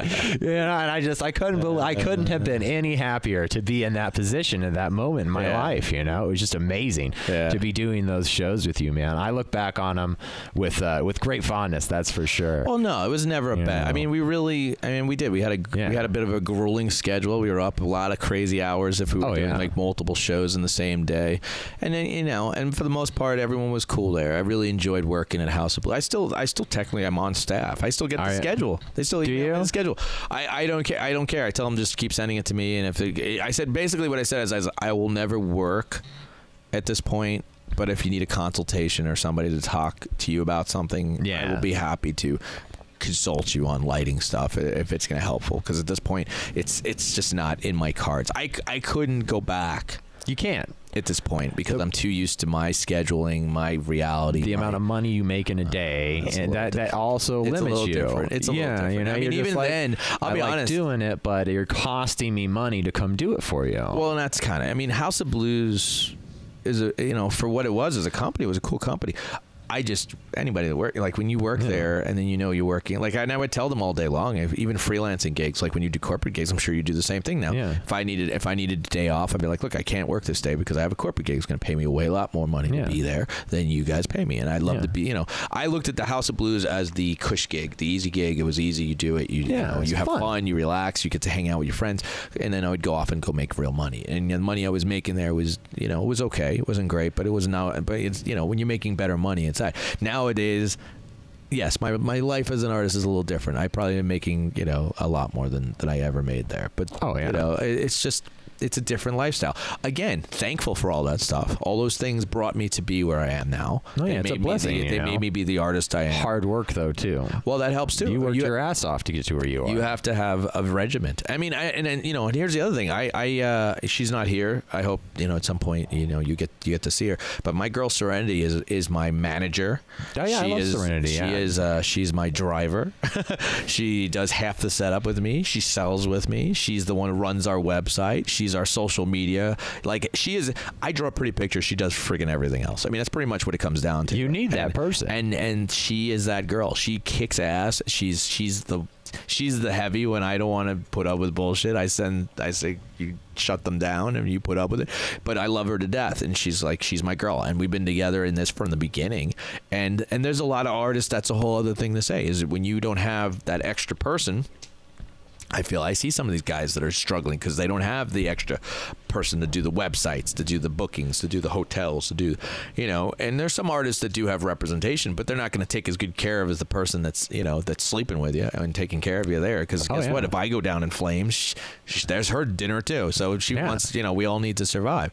So it's a, you know, so we have a very good relationship and it's been perfect. I mean, we get to travel the whole country together, which is awesome too. So when we're, we're, you know, this is the most I think I've been away from her in like months, like because usually we're together twenty four seven. Well, you'll have to uh, bring her next time, I, I man. know You she was in. She was literally. I mean, here. she's. I mean, like I said, right now she's kind of putting out fires for the whole our whole schedule going down in flames because of. So she's she's kind of dealing with that reality. But again, when I told her about this, she was like, "You go do your thing. You go." You know, go do this podcast, get a, get our get your name out there, and do a whole thing, and and and I'll be running the show while you're there. And she is. She's like I said, every time somebody bings me on this phone, she's the one handling it right now. So That's awesome. yeah, Now you got to have that, man. Yeah. Well, you know, next time, you know, you got to have her come in and. Uh, Oh, no, and we'll the do- we'll do another one of these things. We'll do And something cool. Definitely, like you know, uh, we'll we'll schedule another one whenever you're uh, you're doing a show in town that you can promote and get people out. So We, uh, Vegas. I'll tell you right now, I could. Yeah. Well, Amazing Vegas. We'll, we'll, Amazing Vegas, you're doing that's in that? June. Yeah, so In June? Why don't we Why don't we say that now? Yeah, um, let's do another one and let's do another one of these in June for sure. Right, Yeah. right around the time of the event as well. And then you come in and you should film like our setup or, I or would- something and do like a whole exactly, or, or even a or even just like a, a, day in the life type thing or something. No, that's definitely what I want to do with it. I want to I want to incorporate my my podcast into the real world, Oh, man. I don't so want to just bring the world into the studio. I want to go out as some fucking dummy Yeah. and who doesn't know anything, and all of Yeah. you, I can come out with you and and, and Yeah. Set up and hang out, and I'll try to sell some I'll try to sell some paintings for you, bro. You know, we'll have a good time. Yeah. We'll make a whole video out of it, man. You know, I mean, that's what it's about, man. You know, it- living life. That's why I call awesome. it to the fullest. You know, I'm trying to live it. life to the fullest and, and have fun No, and I do agree. everything I can with it, man. No, that'd be badass. We'll do that, and uh, yeah. So I mean, you know, and it's just it's just the nature of it. At this point, right now, like I said, we're happy. We're doing our thing. Yes, it's this is this whole disease thing where everyone's taking you It'll know, pass. quarantine. It'll pass, and when the weather gets warm, I you know, I, you know, I had to we I had to just say it's like it's okay. I had like five or six shows I'm dealing with right now. Go go poof, but guess what? I still do like over thirty shows a year, so it's not a big deal. It's that there's still shows. Yeah, they're gonna So, come back, and they're gonna come come back back. strong, man. You know, Yeah. and they're And the ones that don't weren't weren't doing too good to begin with, so it's probably good if they go away. yeah, exactly, you know. um, well, I like that, man. I think uh, I think we killed this podcast. dude. It's No, I fucking think great. This I- was cool. I'm This is like almost two hours of just sitting Two here talking solid and no dead spots, man. I mean, I could talk forever with you, man. It's a pleasure. you It know, really is- that- is a pleasure, It's also man. good because it's like catching up. We haven't talked in years, so this is kind of like it's like a catch up for us either way. Yeah, I know. Seriously, we got to totally fucking catch up more and hang more often, man. I, I'll be doing more barbecues too. Uh, now that I there's uh, now that there's fucking time to actually cook, I'm gonna do it. I'll, Uh, smoke a big piece of meat out back, Oh, man, cool. fucking hand that shit out to everybody, dude. I'll do a big brisket or something. Invite everyone over. No, that'd be great. It's- You know, and that's the funny thing is like I, when I when I kind of started pulling a little bit out of the industry uh, and just doing my art thing, I tried at first to try and bring everybody I remember, you know, up to go to do like a barbecue, try to get people to come. So and hard. at first, at first they all came because it was free food. A lot of people will show up if you give them free food. Yeah. But after a while, it started getting to the point where obviously everyone gets locked up in their own lives. Everyone has their own gigs. Everyone has their own timelines, and it just wouldn't happen. And there's still people that I, you know, some people that I've even, some people I was close friends with that just vanished because, in a way, I hate to say it, but maybe because I got successful doing something that I'm not connected to them, that Yeah. didn't want to be involved with that, so they kind of pulled away. There's some close friends that I was a little disappointed with that kind of like went away, and I was like, oh shoot, all right, well, It but at, but at the same time. That's life, you know, and the people that are going to be there are going to be there. And there's friends that I didn't even think were close friends that have pulled out and become better friends to me than they were when I was even in the industry because they were basically like not in it because I could get them a gig or I could do that. You know what I mean? Like, you, you know what I'm saying? So Oh, I yeah. feel like some of those people have kind of like, you know, I've, I've, I've been more happy to stay close to them uh, and, and, and keep tabs with them because they're true friends, you know, and I guess that's Yeah. the nature of it. And I think your level of success in life kind of determines your circle too a lot of times because when you're out Yeah. hustling and when you're out doing things, your time becomes really valuable and constrained and you can only spend it on so much stuff and, Oh, no. and people that aren't doing those same things with you Yeah. or you know it becomes I've had people laugh. difficult. I've had people laugh at me because like, well, they'll be like, "We'll do dinner." I'll be like, "Oh," and I pull out my phone and I set up a, a date to do dinner, and they're just like, Yeah. "I'll be like, what do you mean?" I'm like, "If I don't put you in here, we don't meet." Yeah, it doesn't you know? happen. It doesn't happen, or I'm somewhere Yeah. else and I forget because I got to do this because I have I'm literally clocking in almost every day of what I do. Like, Yeah. like, and that's the, even as even is my own business. I have to wake up every day. I have to draw. I have to do new pieces. I have to get on top. I have to, you know, do whatever other business items that we have to get done, and that's the nature of the beast. That's part of having your own business, you know. Oh yeah, I uh, my uh, my doctor is is getting dri- driven nuts by my schedule lately. I've had to reschedule uh, what uh, three times now, and every time I reschedule, it's like three month, three weeks to a month out. Oh. I'm just like, okay, well I can't do that anymore. I just picked up this. How about instead of the fifth, we do the 23rd? They go the 23rd of March uh, of of April. What? You know, not right now. Obviously, the coronavirus took it all out. yeah. But uh, as I was getting up to this point, you know, that's it. it. was it's insane just to get you know an hour of my time that is is is appropriate in the middle of the week. It's uh, seems so difficult. Oh, totally. And other people, I just don't think want to accept that reality. They think you're blowing them off, or and it's like it's not that at all. I totally want to kick it. I want to hang out all the time and party and have fun. It's just like I also have all these other things that have to be done. Well, and, even- and I do them. Well, exactly. I mean, I'm sure you, and you're even like I, I even in my world where I know, yes, every week I have a show and I have obligations. As a production person, I remember you would be, I would book almost every damn day if I could. Oh, yeah, and, and, every and sometimes multiple books on a day if you could, if it was only going to be like a load out to maybe sometimes another show or something like that. Because you never know when this is going to happen, when the whole world's coming down to an end and you don't have work for a month. Yeah. So every time I was doing, I totally get it. You you guys, and that's why I felt bad. Like it was hard to keep tabs of some of the people that I was working with because now that I'm, you know, yeah, I'd come home and take off all of November, December just to work and do homework and stuff like that.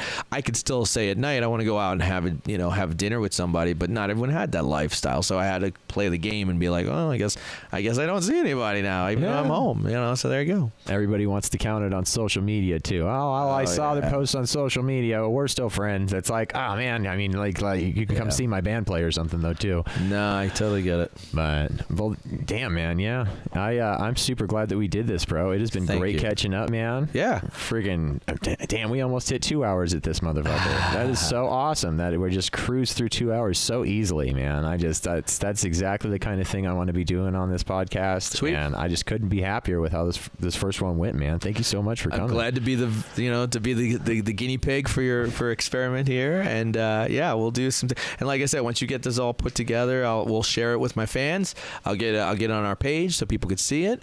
Um, I definitely want like to get you out there as much as possible, as much as you know you share it. Will get me out there on the big. I don't know. They'll have to look at me, but that's their problem. Ah, no, yeah, I know. I definitely want to be out there helping you out with the thing. And, like you said, in June, man, let's come out. I'll help you set up. I'll help Yeah. you sell some paintings, man. We'll do another podcast, man. Yeah. It'll be super fun, man. yeah, let's looking make this forward to happen. it. That'd be badass. I love it. Well, f- thank you so much, Jerry Pesce, everybody, man. You, you've been great. And uh, one more time, where can they uh, check out all your stuff? Okay, guys, we're on all social media. So if you're Instagram, Facebook, all that stuff, we're on that. It's obviously PescEffects. P E S C E F F E C T S. And we're on the website is pesceffects.com. Same spelling. Tight, man. Well, thank you so much, man. Try that. And we'll get on it.